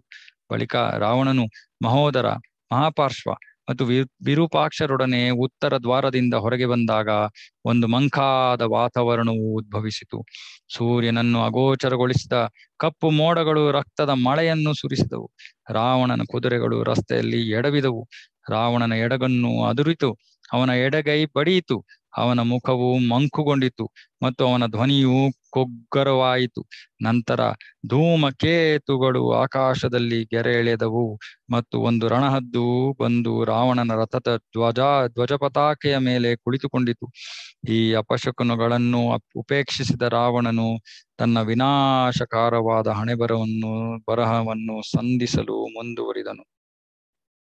ಯುದ್ಧವು ಪ್ರಾರಂಭವಾದಾಗ ರಾವಣನು ವ್ಯಾಪಕ ಹಾನಿಯನ್ನುಂಟು ಮಾಡಿದನು ಯಾವ ವಾನರಿಗೂ ಅವನ ಬಾಣಗಳ ದಾಳಿಯ ಮುಂದೆ ನಿಲ್ಲಲು ಸಾಧ್ಯವಾಗಲಿಲ್ಲ. ಕೋಪಗೊಂಡ ಸುಗ್ರೀವನು ರಾಕ್ಷಸ ಸೈನ್ಯದ ಮೇಲೆ ವಾನರರ ಒಂದು ಭೀಕರವಾದ ಪ್ರತಿದ್ದಾಳಿಯನ್ನು ನಿರ್ದೇಶಿಸಿದಾಗ ರಾವಣನು ತನ್ನ ಗಮನವನ್ನು ರಾಮನ ಕಡೆಗೆ ತಿರುಗಿಸಿದನು. ಅಷ್ಟರಲ್ಲಿ ತನ್ನ ರಥದಿಂದ ಕೆಳಗಿಳಿದ್ದು ಆನೆಯನ್ನು ಏರಿದ ವಿರೂಪಾಕ್ಷನು ಬಾಣಗಳನ್ನು ಸುರಿಸುತ್ತಾ ವಾನರರ ಕಡೆ ಧಾವಿಸಿದನು. ಒಂದು ದೊಡ್ಡ ಮರವನ್ನು ತೆಗೆದುಕೊಂಡ ಸುಗ್ರೀವನು ಆ ಆನೆಯನ್ನು ಅದರಿಂದ ಬಲವಾಗಿ ಜಜ್ಜಿದಾಗ ಆನೆಯು ಸ್ವಲ್ಪ ಹಿಂಜರಿಯಿತು. ಗಾಯಗೊಂಡಿದ್ದ ಆನೆಯ ಮೇಲಿಂದ ಕೆಳಗೆ ಜಿಗಿದ ವಿರೂಪಾಕ್ಷನು ತನ್ನ ಖಡ್ಗ ಮತ್ತು ಗುರಾಣಿಗಳನ್ನು ತೆಗೆದುಕೊಂಡು ಸುಗ್ರೀವನ ಕಡೆಗೆ ಕೋಪದಿಂದ ಧಾವಿಸಿದನು. ಮುನ್ನುಗುತ್ತಿದ್ದ ವೈರಿಯ ಮೇಲೆ ಸುಗ್ರೀವನು ದೊಡ್ಡ ಬಂಡೆಯೊಂದನ್ನು ಎಸೆದಾಗ ಅದರಿಂದ ತಪ್ಪಿಸಿಕೊಂಡ ವಿರೂಪಾಕ್ಷನು ವಾನರ ರಾಜನನ್ನು ತನ್ನ ಖಡ್ಗದಿಂದ ಇರಿದನು. ತಾತ್ಕಾಲಿಕವಾಗಿ ಭ್ರಮೆಗೊಂಡ ಸುಗ್ರೀವನು ನೆಲಕ್ಕೆ ಬಿದ್ದನು. ಆದರೆ ಕೂಡಲೇ ಜಿಗಿದು ನಿಂತ ಅವನು ವಿರೂಪಾಕ್ಷನ ಎದೆಗೆ ಗುದ್ದಿದನು. ಇದರಿಂದ ಇನ್ನೂ ಕೋಪಗೊಂಡ ರಾಕ್ಷಸನು ತನ್ನ ಖಡ್ಗದಿಂದ ಸುಗ್ರೀವನ ಕವಚವನ್ನು ಪ್ರಬಲವಾಗಿ ಕತ್ತರಿಸಿ ಅವನಿಗೆ ಒದ್ದು ಅವನು ಹಿಂದಕ್ಕೆ ಬೀಳುವಂತೆ ಮಾಡಿದನು. ತನ್ನ ಕಾಲುಗಳ ಮೇಲೆ ಮತ್ತೆ ಪುಟಿದೆದ್ದು ನಿಂತ ಸುಗ್ರೀವನು ರಾಕ್ಷಸನಿಗೆ ಪ್ರಬಲವಾಗಿ ಹೊಡೆಯಲು ಪ್ರಯತ್ನಿಸಿದನು. ಆ ಹೊಡೆತದಿಂದ ತಪ್ಪಿಸಿಕೊಂಡ ವಿರೂಪಾಕ್ಷನು ಸುಗ್ರೀವನ ಎದೆಗೆ ಗುದ್ದಿದನು. ಕೋಪದಿಂದ ಉರಿಯುತ್ತಿದ್ದು ಅವನನ್ನು ಹೊಡೆಯಲು ಒಂದು ಅವಕಾಶಕ್ಕಾಗಿ ಕಾಯುತ್ತಿದ್ದ ಸುಗ್ರೀವನು ಅವಕಾಶವನ್ನು ಕಂಡು ತನ್ನ ಹಸ್ತದಿಂದ ವಿರೂಪಾಕ್ಷನ ಹಣೆಗೆ ಪ್ರಬಲವಾಗಿ ಹೊಡೆದನು. ಕೂಡಲೇ ರಾಕ್ಷಸನ ದೇಹದ ನವರಂಧ್ರಗಳಿಂದ ರಕ್ತ ಸುರಿದು ಅವನು ಸತ್ತು ಬಿದ್ದನು. ವಿರೂಪಾಕ್ಷನ ಮತ್ತು ಹಲವಾರು ರಾಕ್ಷಸ ಸೈನಿಕರ ಮರಣವನ್ನು ವೀಕ್ಷಿಸಿದ ರಾವಣನು ಇನ್ನೂ ಕೆರಳಿದನು. ಅವನು ವೈರಿಯನ್ನು ಸರ್ವನಾಶ ಮಾಡುವಂತೆ ಮಹೋದರನಿಗೆ ಒತ್ತಾಯ ಮಾಡಿದನು. ವೀರಾವೇಶದಿಂದ ಹೋರಾಡತೊಡಗಿದ ಮಹೋದರನು ಹಲವಾರು ವಾನರನ್ನು ಕಬಳಿಸಲು ಪ್ರಾರಂಭಿಸಿದಾಗ ಅವರು ಸುಗ್ರೀವನ ರಕ್ಷಣೆಗೆ ಓಡಿದರು. ಮಹೋದರನ ಕಡೆಗೆ ಧಾವಿಸಿದ ಸುಗ್ರೀವನು ಒಂದು ದೊಡ್ಡ ಬಂಡೆಯನ್ನು ಅವನ ಮೇಲೆ ಎಸೆದಾಗ ರಾಕ್ಷಸನು ಅದನ್ನು ಬಾಣಗಳಿಂದ ಚೂರು ಮಾಡಿದನು ಅತೀವವಾದ ಕೋಪದಿಂದ ಉರಿದ ಸುಗ್ರೀವನು ಒಂದು ಎತ್ತರವಾದ ಮರವನ್ನು ಕಿತ್ತುಕೊಂಡಾಗ ರಾಕ್ಷಸನ ಬಾಣಗಳು ಅದನ್ನು ಕೂಡಲೇ ಕತ್ತರಿಸಿ ವಾನರ ರಾಜನನ್ನು ಛೇದಿಸಿದವು. ಆಗ ಕೆಳಗೆ ಬಿದ್ದಿದ್ದ ಒಂದು ಕಬ್ಬಿಣದ ಕದೆಯನ್ನು ತೆಗೆದುಕೊಂಡ ಸುಗ್ರೀವನು ಮಹೋದರನ ಕಡೆಗೆ ಧಾವಿಸಿ ಅವನ ಕುದುರೆಗಳನ್ನು ಹೊಡೆದು ಬೀಳಿಸಿದಾಗ ತನ್ನ ಶಿಥಿಲವಾಗಿದ್ದ ರಥದಿಂದ ಕೆಳಗೆ ಧುಮುಕಿದ ರಾಕ್ಷಸನು ತನ್ನ ಬಲ್ಲೆಯನ್ನು ಎಸೆದು ಸುಗ್ರೀವನ ಕಡೆಗೆ ಧಾವಿಸಿದನು. ಆಗ ಸುಗ್ರೀವನು ಕೂಡ ತನ್ನ ಗದೆಯನ್ನು ಎಸೆದನು. ಉಭಯ ಅಸ್ತ್ರಗಳು ಆಕಾಶದಲ್ಲಿ ಒಂದಕ್ಕೊಂದು ಡಿಕ್ಕಿ ಹೊಡೆದು ತಟಸ್ಥಗೊಂಡವು. ಕೆಳಗೆ ಬಿದ್ದಿದ್ದ ಗದೆಗಳನ್ನು ತೆಗೆದುಕೊಳ್ಳಲು ಸೆಣೆಸಾಡಿದ ಸುಗ್ರೀವ ಮತ್ತು ಮಹೋದರರು ಅವುಗಳನ್ನು ಪರಸ್ಪರರೆಡೆಗೆ ಎಸೆದರು. ಕಡೆಗೆ ಇಬ್ಬರು ಮುಖಾಮುಖಿಯಾಗಿ ಕೈಗಳಿಂದ ಹೊಡೆದಾಡಲು ಪ್ರಾರಂಭಿಸಿದಾಗ ಒಂದು ಖಡ್ಗವನ್ನು ತೆಗೆದುಕೊಂಡ ಮಹೋದರನು ಸುಗ್ರೀವನ ಕವಚವನ್ನು ಆಳವಾಗಿ ಕತ್ತರಿಸಿದನು. ಕ್ಷಣಿಕವಾಗಿ ಸಿಲುಕಿದ್ದ ಆ ಖಡ್ಗವನ್ನು ಮಹೋದರನು ಹೊರತೆಗೆಯಲು ಪ್ರಯತ್ನಿಸುತ್ತಿದ್ದಾಗ ಆ ಪರಿಸ್ಥಿತಿಯ ಲಾಭವನ್ನು ಪಡೆದುಕೊಂಡ ಸುಗ್ರೀವನು ರಾಕ್ಷಸನ ತಲೆಯನ್ನು ಕತ್ತರಿಸಿದನು. ಮುಖಂಡನಿಲ್ಲದ ಮಹೋದರನ ಸೈನ್ಯವು ಯುದ್ಧ ಭೂಮಿಯಿಂದ ಪಲಾನಗೈ ಪಲಾಯನಗೈಯಿತು ಆಗ ಯುದ್ಧ ಭೂಮಿಯಲ್ಲಿ ಪ್ರತ್ಯಕ್ಷನಾದ ಮಹಾಪಾರ್ಶ್ವನು ವಾನರ ಯೋಧರನ್ನು ಕೊಲ್ಲಲಾರಂಭಿಸಿದನು. ತನ್ನ ಸೈನಿಕರು ಹತಾಶರಾಗುತ್ತಿರುವುದನ್ನು ಕಂಡ ಅಂಗದನು ಒಂದು ಭಾರವಾದ ಗದೆಯನ್ನು ತೆಗೆದುಕೊಂಡು ತನ್ನ ಸಂಪೂರ್ಣ ಶಕ್ತಿಯಿಂದ ಅದನ್ನು ಮಹಾಪಾರ್ಶ್ವನ ಕಡೆಗೆ ಎಸೆದನು. ಆಗ ರಾಕ್ಷಸ ಹಾಗೂ ಅವನ ಸಾರಥಿಯು ಪ್ರಜ್ಞೆ ತಪ್ಪಿ ನೆಲಕ್ಕೆ ಬಿದ್ದರು. ಆಗ ಒಂದು ದೊಡ್ಡ ಬಂಡೆಯನ್ನು ಎಸೆದ ಜಾಂಬುವಂತನು ಮಹಾಪಾರ್ಶ್ವನ ರಥವನ್ನು ಚೂರು ಮಾಡಿ ಅವನ ಕುದುರೆಗಳನ್ನು ಕೊಂದನು. ತನ್ನ ಪ್ರಜ್ಞೆಯನ್ನು ಮರಳಿ ಪಡೆದ ರಾಕ್ಷಸ ವೀರನು ರಥವಿಲ್ಲದೆ ನೆಲದ ಮೇಲೆ ನಿಂತು ಯುದ್ಧ ಮಾಡಲು ಒತ್ತಾಯಗೊಂಡನು. ಕೂಡಲೇ ಜಾಂಬುವಂತನ ಎದೆಯನ್ನು ಮೂರು ಬಾಣಗಳಿಂದ ಛೇದಿಸಿದ ಮಹಾಪಾರ್ಶ್ವವನ್ನು ಅಂಗದನ ಮೇಲೆ ಅಗಣಿತ ಬಾಣಗಳನ್ನು ಹೊಡೆದು ಪ್ರತೀಕಾರ ತೋರಿದನು. ಅಂಗದನು ಒಂದು ಕಬ್ಬಿಣದ ಗದೆಯನ್ನು ಎಸೆದು ಪ್ರತ್ಯುತ್ತರಿಸಿದನು. ಮಹಾಪಾರ್ಶ್ವನ ಚಿನ್ನದ ಮುಕುಟವನ್ನು ಕೆಳಗೆ ಬೀಳಿಸಿದ ಆ ಗದೆಯು ಅವನ ಧನು ಶರಗಳನ್ನು ಮುರಿಯಿತು. ನಂತರ ಮುನ್ನುಗ್ಗಿದ ಅಂಗದನು ರಾಕ್ಷಸನ ತಲೆಗೆ ಬಲವಾಗಿ ಹೊಡೆದಾಗ ಇನ್ನೂ ಕೋಪಗೊಂಡ ರಾಕ್ಷಸನು ಒಂದು ಕೊಡಲಿಯನ್ನು ತೆಗೆದುಕೊಂಡು ವಾನರ ರಾಜಕುಮಾರನ ಕಡೆಗೆ ಎಸೆದನು. ನಿಪುಣತೆಯಿಂದ ಅದರಿಂದ ತಪ್ಪಿಸಿಕೊಂಡ ಅಂಗದನು ಮಹಾಪಾರ್ಶ್ವನ ಕಡೆಗೆ ಧಾವಿಸಿ ಅವನ ಎದೆಯನ್ನು ಎಷ್ಟು ರಭಸವಾಗಿ ಚಚ್ಚಿದನೆಂದರೆ ರಾಕ್ಷಸನ ಎದೆಯು ಛಿದ್ರಗೊಂಡು ಅವನು ತಕ್ಷಣವೇ ಹತನಾದನು. ಮಹಾಪಾರ್ಶ್ವನ ಸೈನ್ಯವು ಗೊಂದಲದಿಂದ ಚೆಲ್ಲಾಪಿಲ್ಲಿಯಾದಾಗ ವಾನರರು ಮತ್ತು ದೇವತೆಗಳು ಸಂತೋಷದಿಂದ ಕೂಗಿದರು. ಆದರೆ ಕೋಪದಿಂದ ತಳಮಳಿಸಿದ ರಾವಣನು ತನ್ನ ರಥವನ್ನು ಏರಿ ಬಾಣಗಳ ನಿರಂತರವಾದ ಸಾಗರವನ್ನೇ ಹರಿಸುತ್ತಾ ರಾಮನ ಕಡೆಗೆ ಮುಂದುವರಿದನು. ರಾಮನು ರಾವಣನ ಬಾಣಗಳನ್ನು ತನ್ನ ಬಾಣಗಳಿಂದ ತಟಸ್ಥಗೊಳಿಸಿದಾಗ ಆ ಇಬ್ಬರು ಕಡು ವೈರಿಗಳ ನಡುವೆ ಒಂದು ಘೋರವಾದ ಯುದ್ಧವು ಪ್ರಾರಂಭವಾಯಿತು. ಕೂಡಲೇ ಅವರ ಬಿಲ್ಲುಗಳಿಂದ ಹೊರಬಂದ ನಿರಂತರವಾದ ಬಾಣಗಳ ವೃಷ್ಟಿಗಳು ಆಕಾಶವನ್ನು ಆವರಿಸಿ ಎಲ್ಲೆಡೆ ಕತ್ತಲೆ ಕವಿಯಂತೆ ಮಾಡುವುದು, ಮಾಡಿದವು. ಈ ಅದ್ಭುತವಾದ ಸ್ಪರ್ಧೆಯನ್ನು ವೀಕ್ಷಿಸಲು ಇಚ್ಛಿಸಿದ ಇತರ ವಾನರ ಮತ್ತು ರಾಕ್ಷಸ ಸೈನಿಕರು ಯುದ್ಧ ಮಾಡುವುದನ್ನೇ ನಿಲ್ಲಿಸಿದರು. ರಾಮನ ಹಣೆಯನ್ನು ರಾವಣನ ಬಾಣವು ಛೇದಿಸಿದಾಗ ಹೆದರದೇ ನಿಂತ ರಾಮನು ರುದ್ರಾಸ್ತ್ರವೊಂದನ್ನು ಪ್ರಯೋಗಿಸಿ ಪ್ರತಿಕಾರ ತೋರಿದನು. ಆ ಅಸ್ತ್ರವು ಅಗಣಿತ ಬಾಣಗಳನ್ನು ಹೊರಹಾಕಿತು. ಆದರೂ ರಾವಣನಿಗೆ ಏನೂ ತೊಂದರೆ ಮಾಡಲಾದಾಗ ಬಾಣಗಳು ಅವನ ಅಭೇದ್ಯ ಕವಚವನ್ನು ಸುಮ್ಮನೆ ಬಡಿದು ಕೆಳಗೆ ಬಿದ್ದವು. ರಾವಣನು ಒಂದು ಮಾಯಾ ಆಸುರಿಕ ಅಸ್ತ್ರವನ್ನು ಆಹ್ವಾನಿಸಿದಾಗ ಅದರಿಂದ ಸಿಂಹದ, ಹುಲಿಯ, ಗಿಡುಗದ, ಹಾವಿನ ಮತ್ತು ಮೊಸಳೆಯ ತಲೆಗಳುಳ್ಳ ಅಗಣಿತ ಬಾಯಿ ತೆರೆದಿದ್ದ ಬಾಣಗಳು ರಾಮನನ್ನು ಕೊಲ್ಲಲು ಅವನ ಕಡೆಗೆ ಧಾವಿಸಿದವು. ಆಗ ಆಗ್ನೇಯಾಸ್ತ್ರವನ್ನು ಪ್ರಯೋಗಿಸಿದ ರಾಮನು ರಾವಣನ ಬಾಣಗಳನ್ನು ಮಧ್ಯ ಮಾರ್ಗದಲ್ಲಿಯೇ ಕರಗಿಸಿದನಾದರೂ ಅದರಿಂದ ಸಾವಿರಾರು ವಾನರರು ಸತ್ತರು. ರಾವಣನು ಪ್ರಯೋಗಿಸಿದ್ದ ಅಸ್ತ್ರವು ಅವನ ಎಲ್ಲಾ ಅಸ್ತ್ರಗಳಲ್ಲಿ ಅತ್ಯಂತ ಶಕ್ತಿಶಾಲಿಯಾದದ್ದೆಂದು ತಿಳಿದಿದ್ದ ರಾಮ ಮತ್ತು ವಾನರ ಮುಖಂಡರು ಸಂತೋಷಗೊಂಡರು. ನಂತರ ಮಯದಾನವನ್ನು ಸೃಷ್ಟಿಸಿದ್ದ ಒಂದು ರುದ್ರಾಸ್ತ್ರವನ್ನು ರಾವಣನು ಆಹ್ವಾನಿಸಿದಾಗ ಅದು ಗದೆಗಳನ್ನು, ಈಟಿಗಳನ್ನು, ವಜ್ರಾಯುಧಗಳನ್ನು ಮತ್ತು ಪಾಶಗಳನ್ನು ಹೊರಹಾಕಿತು. ರಾಮನು ಆ ರುದ್ರಾಸ್ತ್ರವನ್ನು ತನ್ನ ಗಂಧರ್ವಾಸ್ತ್ರದಿಂದ ನಿಶ್ಚಲಗೊಳಿಸಿದನು. ನಂತರ ರಾವಣನು ಒಂದು ಪ್ರಕಾಶಮಾನವಾದ ಸೂರ್ಯಾಸ್ತ್ರವನ್ನು ಪ್ರಯೋಗಿಸಿದಾಗ ಅದರಿಂದ ಹೊರಬಂದ ಅತಿ ದೊಡ್ಡ ಪ್ರಕಾಶಮಾನವಾಗಿದ್ದ ಚಕ್ರಗಳು ರಾಮನ ಕಡೆಗೆ ಹಾರಿದವು. ಊಹಿಸಲಾಗದಂತಹ ಕುಶಲತೆಯಿಂದ ರಾಮನು ಆ ಎಲ್ಲಾ ಚಕ್ರಗಳನ್ನು ಬಾಣಗಳಿಂದ ಮುರಿಯುತ್ತಿದ್ದಾಗ ರಾವಣನು ಅವನ ಎದೆಯನ್ನು ಹತ್ತು ಪ್ರಬಲವಾದ ಬಾಣಗಳಿಂದ ಛೇದಿಸಿದನು. ಆದರೆ ಹಿಮ್ಮೆಟ್ಟದೆ ಉಳಿದ ರಾಮನು ರಾವಣನ ದೇಹವನ್ನು ಹಲವಾರು ಬಾಣಗಳಿಂದ ಛೇದಿಸಿ ಪ್ರತಿಕಾರ ತೋರಿದನು. ಯುದ್ಧವನ್ನು ಪ್ರವೇಶಿಸಲು ಆಶಿಸಿದ ಲಕ್ಷ್ಮಣನು ಏಳು ಬಾಣಗಳನ್ನು ಪ್ರಯೋಗಿಸಿ ರಾವಣನ ಧ್ವಜವನ್ನು ಕತ್ತರಿಸಿದನು. ಇನ್ನೊಂದು ಬಾಣದಿಂದ ರಾವಣನ ಸಾರಥಿಯ ತಲೆಯನ್ನು ಕತ್ತರಿಸಿದನು ಮತ್ತು ಇನ್ನೂ ಐದು ಬಾಣಗಳಿಂದ ರಾಕ್ಷಸ ರಾಜನ ಬಿಲ್ಲನ್ನು ಮುರಿದನು. ಆಗ ಮುನ್ನುಗ್ಗಿದ ವಿಭೀಷಣನು ತನ್ನ ಗದೆಯಿಂದ ರಾವಣನ ಕುದುರೆಗಳನ್ನು ಕೊಂದು ಕೋಪಗೊಂಡ ಅವನ ಅಣ್ಣನು ಶಿಥಲವಾಗಿದ್ದ ತನ್ನ ರಥದಿಂದ ಜಿಗಿಯುವಂತೆ ಮಾಡಿದನು. ರಾವಣನು ಭಲ್ಲೆಯೊಂದನ್ನು ವಿಭೀಷಣನ ಕಡೆಗೆ ಎಸೆದಾಗ ಲಕ್ಷ್ಮಣನು ಅದನ್ನು ಮೂರು ಬಾಣಗಳಿಂದ ಕತ್ತರಿಸಿದನು. ನಂತರ ಭಯ ಮಯದಾನವನಿಂದ ತಯಾರಿಸಲ್ಪಟ್ಟಿದ್ದ ಒಂದು ಮಾಯಾ ಈಟಿಯನ್ನು ರಾವಣನು ತೆಗೆದುಕೊಂಡಾಗ ವಿಭೀಷಣನ ಜೀವವು ಆಪತ್ತಿನಲ್ಲಿರುವುದನ್ನು ಅರಿತ ಲಕ್ಷ್ಮಣನು ರಾವಣನ ಮೇಲೆ ಎಷ್ಟು ವೇಗವಾಗಿ ಬಾಣಗಳನ್ನು ಸುರಿಸಿದನೆಂದರೆ ಆ ಈಟಿಯನ್ನು ಹಿಡಿದುಕೊಂಡಿದ್ದ ರಾವಣನು ವಿಸ್ಮಯದಿಂದ ಸ್ತಂಭೀಭೂತನಾಗಿ ನಿಂತು ಬಿಟ್ಟನು ಆಗ ರಾವಣನು, ಎಲೇ ಲಕ್ಷ್ಮಣನೇ, ನೀನು ವಿಭೀಷಣನನ್ನು ಕಾಪಾಡುವ ಧೈರ್ಯ ಮಾಡಿರುವುದರಿಂದ ಅವನನ್ನು ಕೊಲ್ಲಬೇಕಾಗಿದ್ದ ಈಟಿಯು ಈಗ ನಿನ್ನ ಪ್ರಾಣವನ್ನು ತೆಗೆದುಕೊಳ್ಳುವುದು ಎಂದು ಕೂಗಿ ಹೇಳಿದನು. ಸಿಂಹದಂತೆ ಗರ್ಜಿಸಿದ ರಾವಣನು ಆ ಮಾಯಾ ಈಟಿಯನ್ನು ಎಸೆದನು. ದಿಕ್ಕು ತಪ್ಪದೆ ಗಾಳಿಯಲ್ಲಿ ಹಾರಿದ ಈಟಿಯು ಲಕ್ಷ್ಮಣನ ಕಡೆಗೆ ಧಾವಿಸಿದಾಗ ರಾಮನು ಅದನ್ನು ನಿಷ್ಪ್ರಯೋಜಕವಾಗುವಂತೆ ಕೇಳಿಕೊಂಡನು. ಆದರೂ ಲಕ್ಷ್ಮಣನ ಎದೆಯನ್ನು ಛೇದಿಸಿ ನೆಲಕ್ಕೆ ಬಿದ್ದ ಈಟಿಯು ಸುಮಿತ್ರೆಯ ಮಗನು ತೀವ್ರವಾಗಿ ಗಾಯಗೊಂಡು ನೆಲಕ್ಕೆ ಬೀಳುವಂತೆ ಮಾಡಿತು. ಲಕ್ಷ್ಮಣನ ಈ ಕರುಣಾಜನಕ ಸ್ಥಿತಿಯನ್ನು ಕಂಡು ಅತ್ಯಂತ ನಿರಾಶೆಗೊಂಡ ರಾಮನ ಕಣ್ಣುಗಳಲ್ಲಿ ನೀರು ತುಂಬಿಕೊಂಡಿತು. ನಂತರ ರಾವಣನು ತನ್ನ ಮೇಲೆ ಬಾಣಗಳ ಸುರಿಮಳೆಯನ್ನು ಸುರಿಸುತ್ತಿದ್ದರೂ ತನ್ನ ತೀವ್ರವಾದ ದುಃಖ ದುಃಖವನ್ನು ನುಂಗಿಕೊಂಡ ರಾಮನು ಲಕ್ಷ್ಮಣನ ದೇಹದಿಂದ ಆ ಈಟಿಯನ್ನು ಹೊರತೆಗೆದನು. ಆ ಈಟಿಯನ್ನು ಅರ್ಧಕ್ಕೆ ಮುರಿದು ಹಾಕಿದ ಬಳಿಕ ರಾಮನ ಕಣ್ಣಾಲಿಗಳು ತುಂಬಿ ಹೋಗಿ ಅವನು ಲಕ್ಷ್ಮಣನನ್ನು ತನ್ನ ತೋಳುಗಳಲ್ಲಿ ಎತ್ತಿಕೊಂಡು ಅವನನ್ನು ಆಲಂಗಿಸಿದನು. ನಂತರ ಹನುಮಂತ ಹಾಗೂ ಸುಗ್ರೀವರನ್ನು ಲಕ್ಷ್ಮಣನಿಗೆ ಪಹರೆ ನೀಡುವಂತೆ ಆದೇಶಿಸಿದ ರಾಮನು, ನಾನು ಈಗ ನನ್ನ ಸಂಪೂರ್ಣ ಶಕ್ತಿಯನ್ನು ಆ ಕ್ರೂರ ರಾವಣನ ಮೇಲೆ ಪ್ರದರ್ಶಿಸುತ್ತೇನೆ. ಅವನು ಶೀಘ್ರದಲ್ಲಿಯೇ ಯುದ್ಧ ಭೂಮಿಯಲ್ಲಿ ಮರಣ ಹೊಂದುವನೆಂದು ನಾನು ಭಾಷೆ ಕೊಡುತ್ತೇನೆ. ವಾನರರು ಪರ್ವತ ಶಿಖರಗಳ ಮೇಲೆ ಹೋಗಿ ಕುಳಿತು ವಿಶ್ರಮಿಸಲಿ ಹಾಗೂ ದೇವತೆಗಳ ಜೊತೆಗೂಡಿ ನನ್ನ ಅದ್ಭುತ ಸಾಹಸವನ್ನು ನೋಡಲಿ. ನನ್ನ ಈ ಕಾರ್ಯವು ಅಜರಾಮರವಾಗುವುದು. ಎಂಬುದಾಗಿ ಕೋಪದಿಂದ ಪ್ರಕಟಿಸಿದನು. ಹೀಗೆ ಹೇಳಿದ ರಾಮನು ರಾವಣನನ್ನು ಪ್ರತೀಕಾರದೊಂದಿಗೆ ಆಕ್ರಮಿಸಿದನು.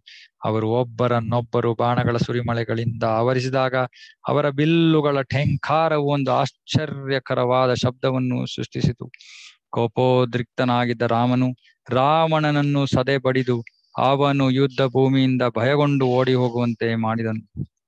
ನಂತರ ಲಕ್ಷ್ಮಣನಲ್ಲಿಗೆ ಹೋದ ರಾಮನು ತೀವ್ರವಾದ ವೇದನೆಯಿಂದ ಸುಷೇಣನಿಗೆ ಹೇಳಿದನು, ನನ್ನ ಗಾಯಗೊಂಡಿರುವ ಸಹೋದರನನ್ನು ನೋಡಿಯೇ ನನ್ನ ಶಕ್ತಿಯು ಕುಂದುತ್ತಿದೆ. ಲಕ್ಷ್ಮಣನಿಲ್ಲದೆ ವಿಜಯವು ಅರ್ಥಹೀನವಾಗುವುದು. ಅವನು ಈಗ ಗತಿಸಿದರೆ ನಾನು ವನವಾಸಕ್ಕೆ ಬಂದಾಗ ಅವನು ನನ್ನ ಹಿಂಬಾಲಿಸಿದಂತೆ ನಾನು ಅವನನ್ನು ಈಗ ಅನುಸರಿಸುವೆ. ಆಗ ಭರವಸೆ ಕೊಡುವಂತಹ ಮಾತುಗಳನ್ನಾಡಿದ ಸುಷೇಣನು ಸುಷೇಣನು, ಓ ರಾಮ, ಲಕ್ಷ್ಮಣನು ಸಾಯುತ್ತಿಲ್ಲ. ಅವನ ಮುಖದ ತೇಜಸ್ಸು ಬಾಡಿಲ್ಲ ಮತ್ತು ಅವನ ಕಣ್ಣುಗಳು ಇನ್ನೂ ಪ್ರಕಾಶಮಾನವಾಗಿ ಮಿನುಗುತ್ತಿವೆ. ಆದರೆ ವಿಶಲ್ಯ ಕರಣಿ ಸಾವರ್ಣ್ಯ ಕರಣಿ ಸಂಜೀವ ಕರಣಿ ಮತ್ತು ಸಂಧಾನಿ ಮುಂತಾದ ಗಿಡಮೂಲಿಕೆಗಳನ್ನು ತರಲೆಂದು ಹನುಮಂತನನ್ನು ಮಹೋದಯ ಪರ್ವತಕ್ಕೆ ಕೂಡಲೇ ಕಳಿಸಬೇಕು. ಈ ವೈದ್ಯಕೀಯ ಚಿಕಿತ್ಸೆಯಿಂದ ಲಕ್ಷ್ಮಣನನ್ನು ಸಂಪೂರ್ಣವಾಗಿ ಗುಣಮುಖವನ್ನಾಗಿಸಬಹುದು ಎಂದನು. ಮತ್ತೆ ಹಿಮಾಲಯಕ್ಕೆ ಹಾರಿದ ಹನುಮಂತನು ಮಹೋದಯ ಪರ್ವತಕ್ಕೆ ಹೋಗಿ ಬೇಕಾಗಿದ್ದ ಗಿಡಮೂಲಿಕೆಗಳನ್ನು ಗುರುತಿಸಲಾಗದೆ ಹತಾಶೆಗೊಂಡು ಆ ಪರ್ವತ ಶಿಖರವನ್ನೇ ಮತ್ತೆ ಕಿತ್ತು ಅದನ್ನು ಎರಡು ಕೈಗಳನ್ನು ಎರಡು ಕೈಗಳಲ್ಲೂ ಹಿಡಿದುಕೊಂಡು ಲಂಕೆಗೆ ಹಿಂದಿರುಗಿದನು. ಸುಷೇಣನ ಬಳಿ ಆ ಪರ್ವತ ಶಿಖರವನ್ನು ಇರಿಸಿ ಸ್ವಲ್ಪ ಕಾಲ ವಿಶ್ರಮಿಸಿದ ಹನುಮಂತನು ಹೀಗೆ ಹೇಳಿದನು, ನನಗೆ ತರಬೇಕಾಗಿದ್ದ ಗಿಡಮೂಲಿಕೆಗಳನ್ನು ಗುರುತಿಸಲಾಗಲಿಲ್ಲವಾದ್ದರಿಂದ ನಾನು ಇಡೀ ಪರ್ವತವನ್ನೇ ತರಲು ನಿರ್ಧರಿಸಿದೆ. ಹನುಮಂತನು ಪ್ರಶಂಸಿಸಿದ ಸುವೇ, ಸುಷೇಣನು ಗಿಡಮೂಲಿಕೆಗಳನ್ನು ಹುಡುಕಲು ಹೋದನು. ನಂತರ ಆ ಗಿಡಮೂಲಿಕೆಗಳು ಜಜ್ಗಳನ್ನು ಜಜ್ಜಿ ಪುಡಿ ಮಾಡಿದ ಅವನು ಲಕ್ಷ್ಮಣನಿಗೆ ಅವುಗಳನ್ನು ಅಘ್ರಾಣಿಸಲು ಕೊಟ್ಟಾಗ ಲಕ್ಷ್ಮಣನ ಗಾಯಗಳೆಲ್ಲವೂ ತಕ್ಷಣವೇ ವಾಸಿಯಾದವು. ಎದ್ದು ನಿಂತ ಲಕ್ಷ್ಮಣನು ಬಿಗಿದ ಲಕ್ಷ್ಮಣನನ್ನು ಬಿಗಿದಪ್ಪಿದ ರಾಮನು, ನೀನು ಈಗ ಆರೋಗ್ಯಕರವಾಗಿರುವುದು ನನ್ನ ಸೌಭಾಗ್ಯ.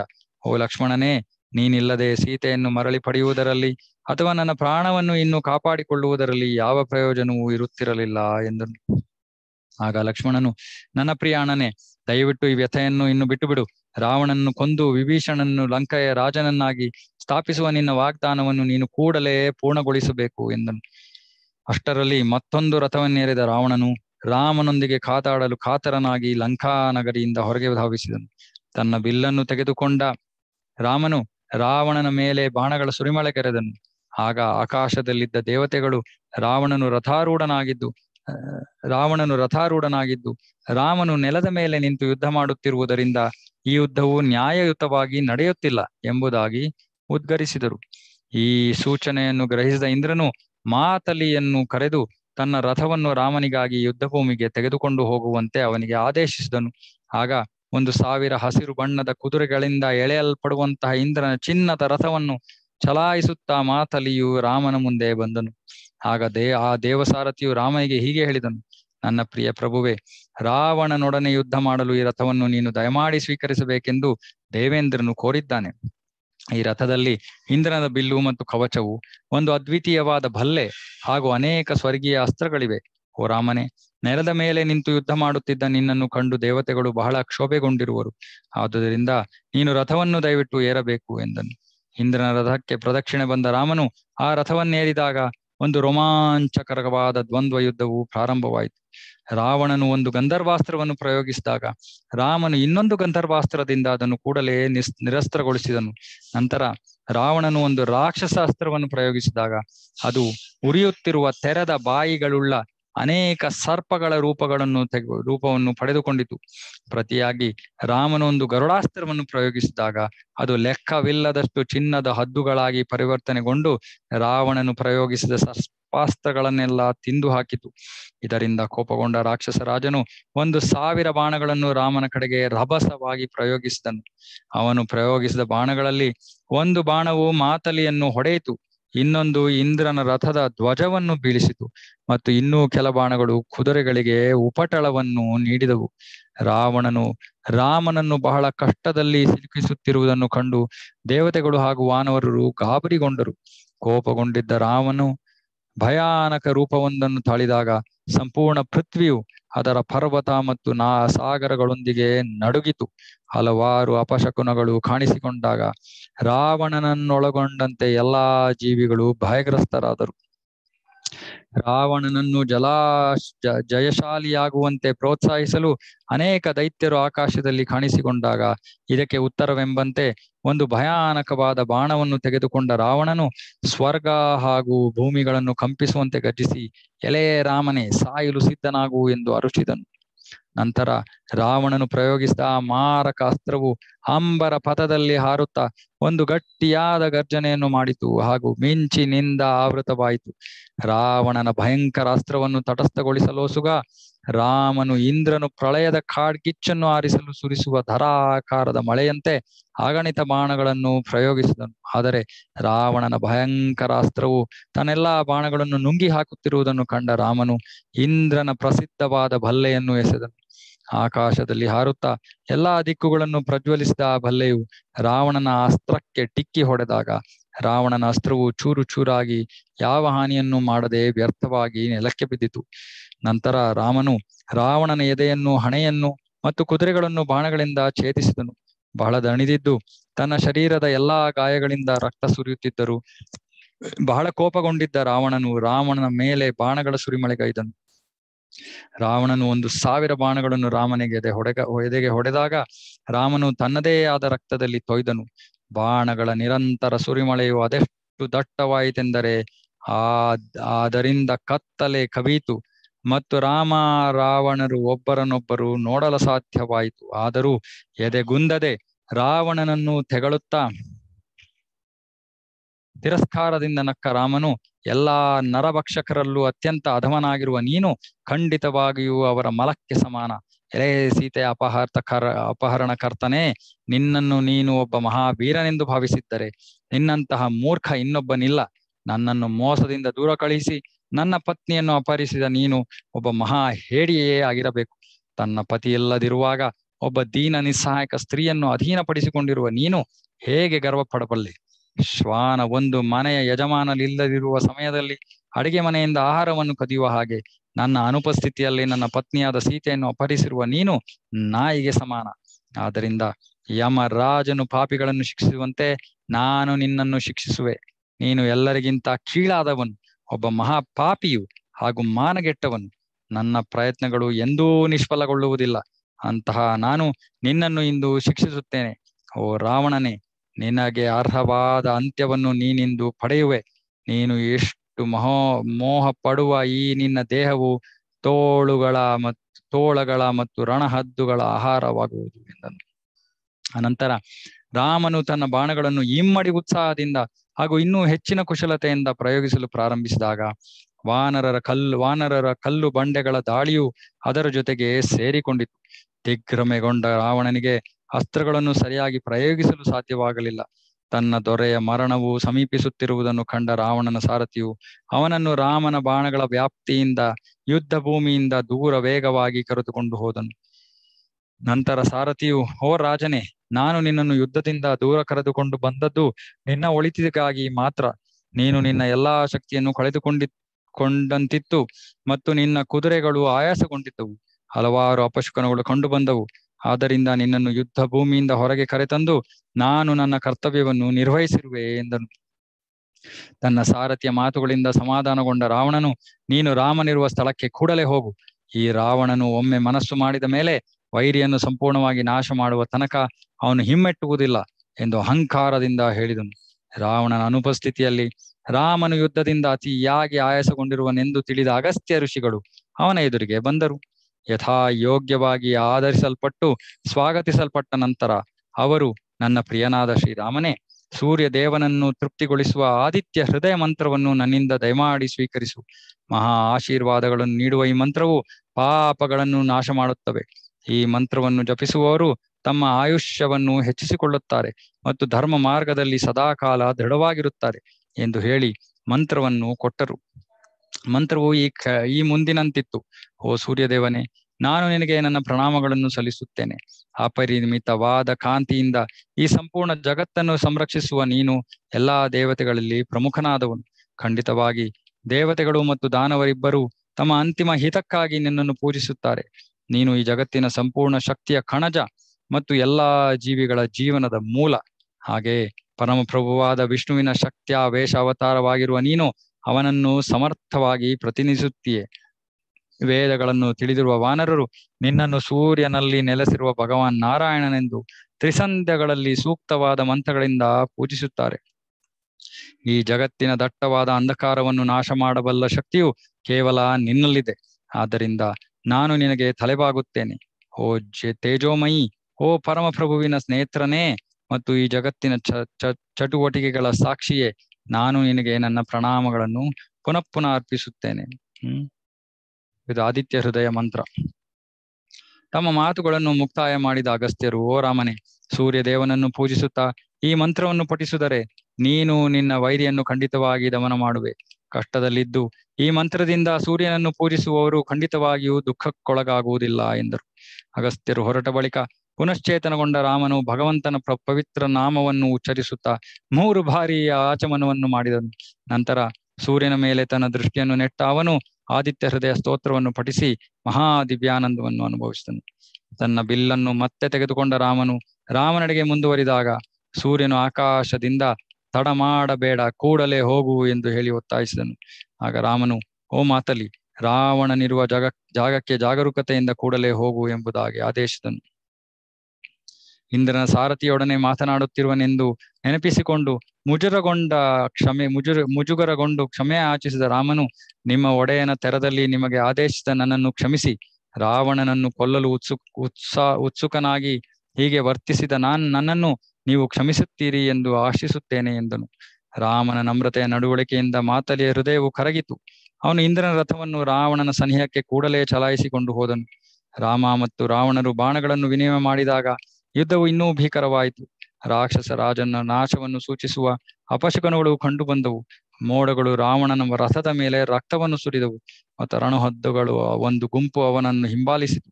ರಾವಣನ ಹತ್ತಿರ ಬಿದ್ದ ಒಂದು ಬೃಹದಾಕಾರದ ಧೂಮಕೇತು ಅವನು ಸತ್ಯದಲ್ಲೇ ಸಾಯುವನೆಂದು ಖಚಿತಪಡಿಸಿ ರಾಕ್ಷಸರು ನಿರಾಶರಾಗುವಂತೆ ಮಾಡಿತು.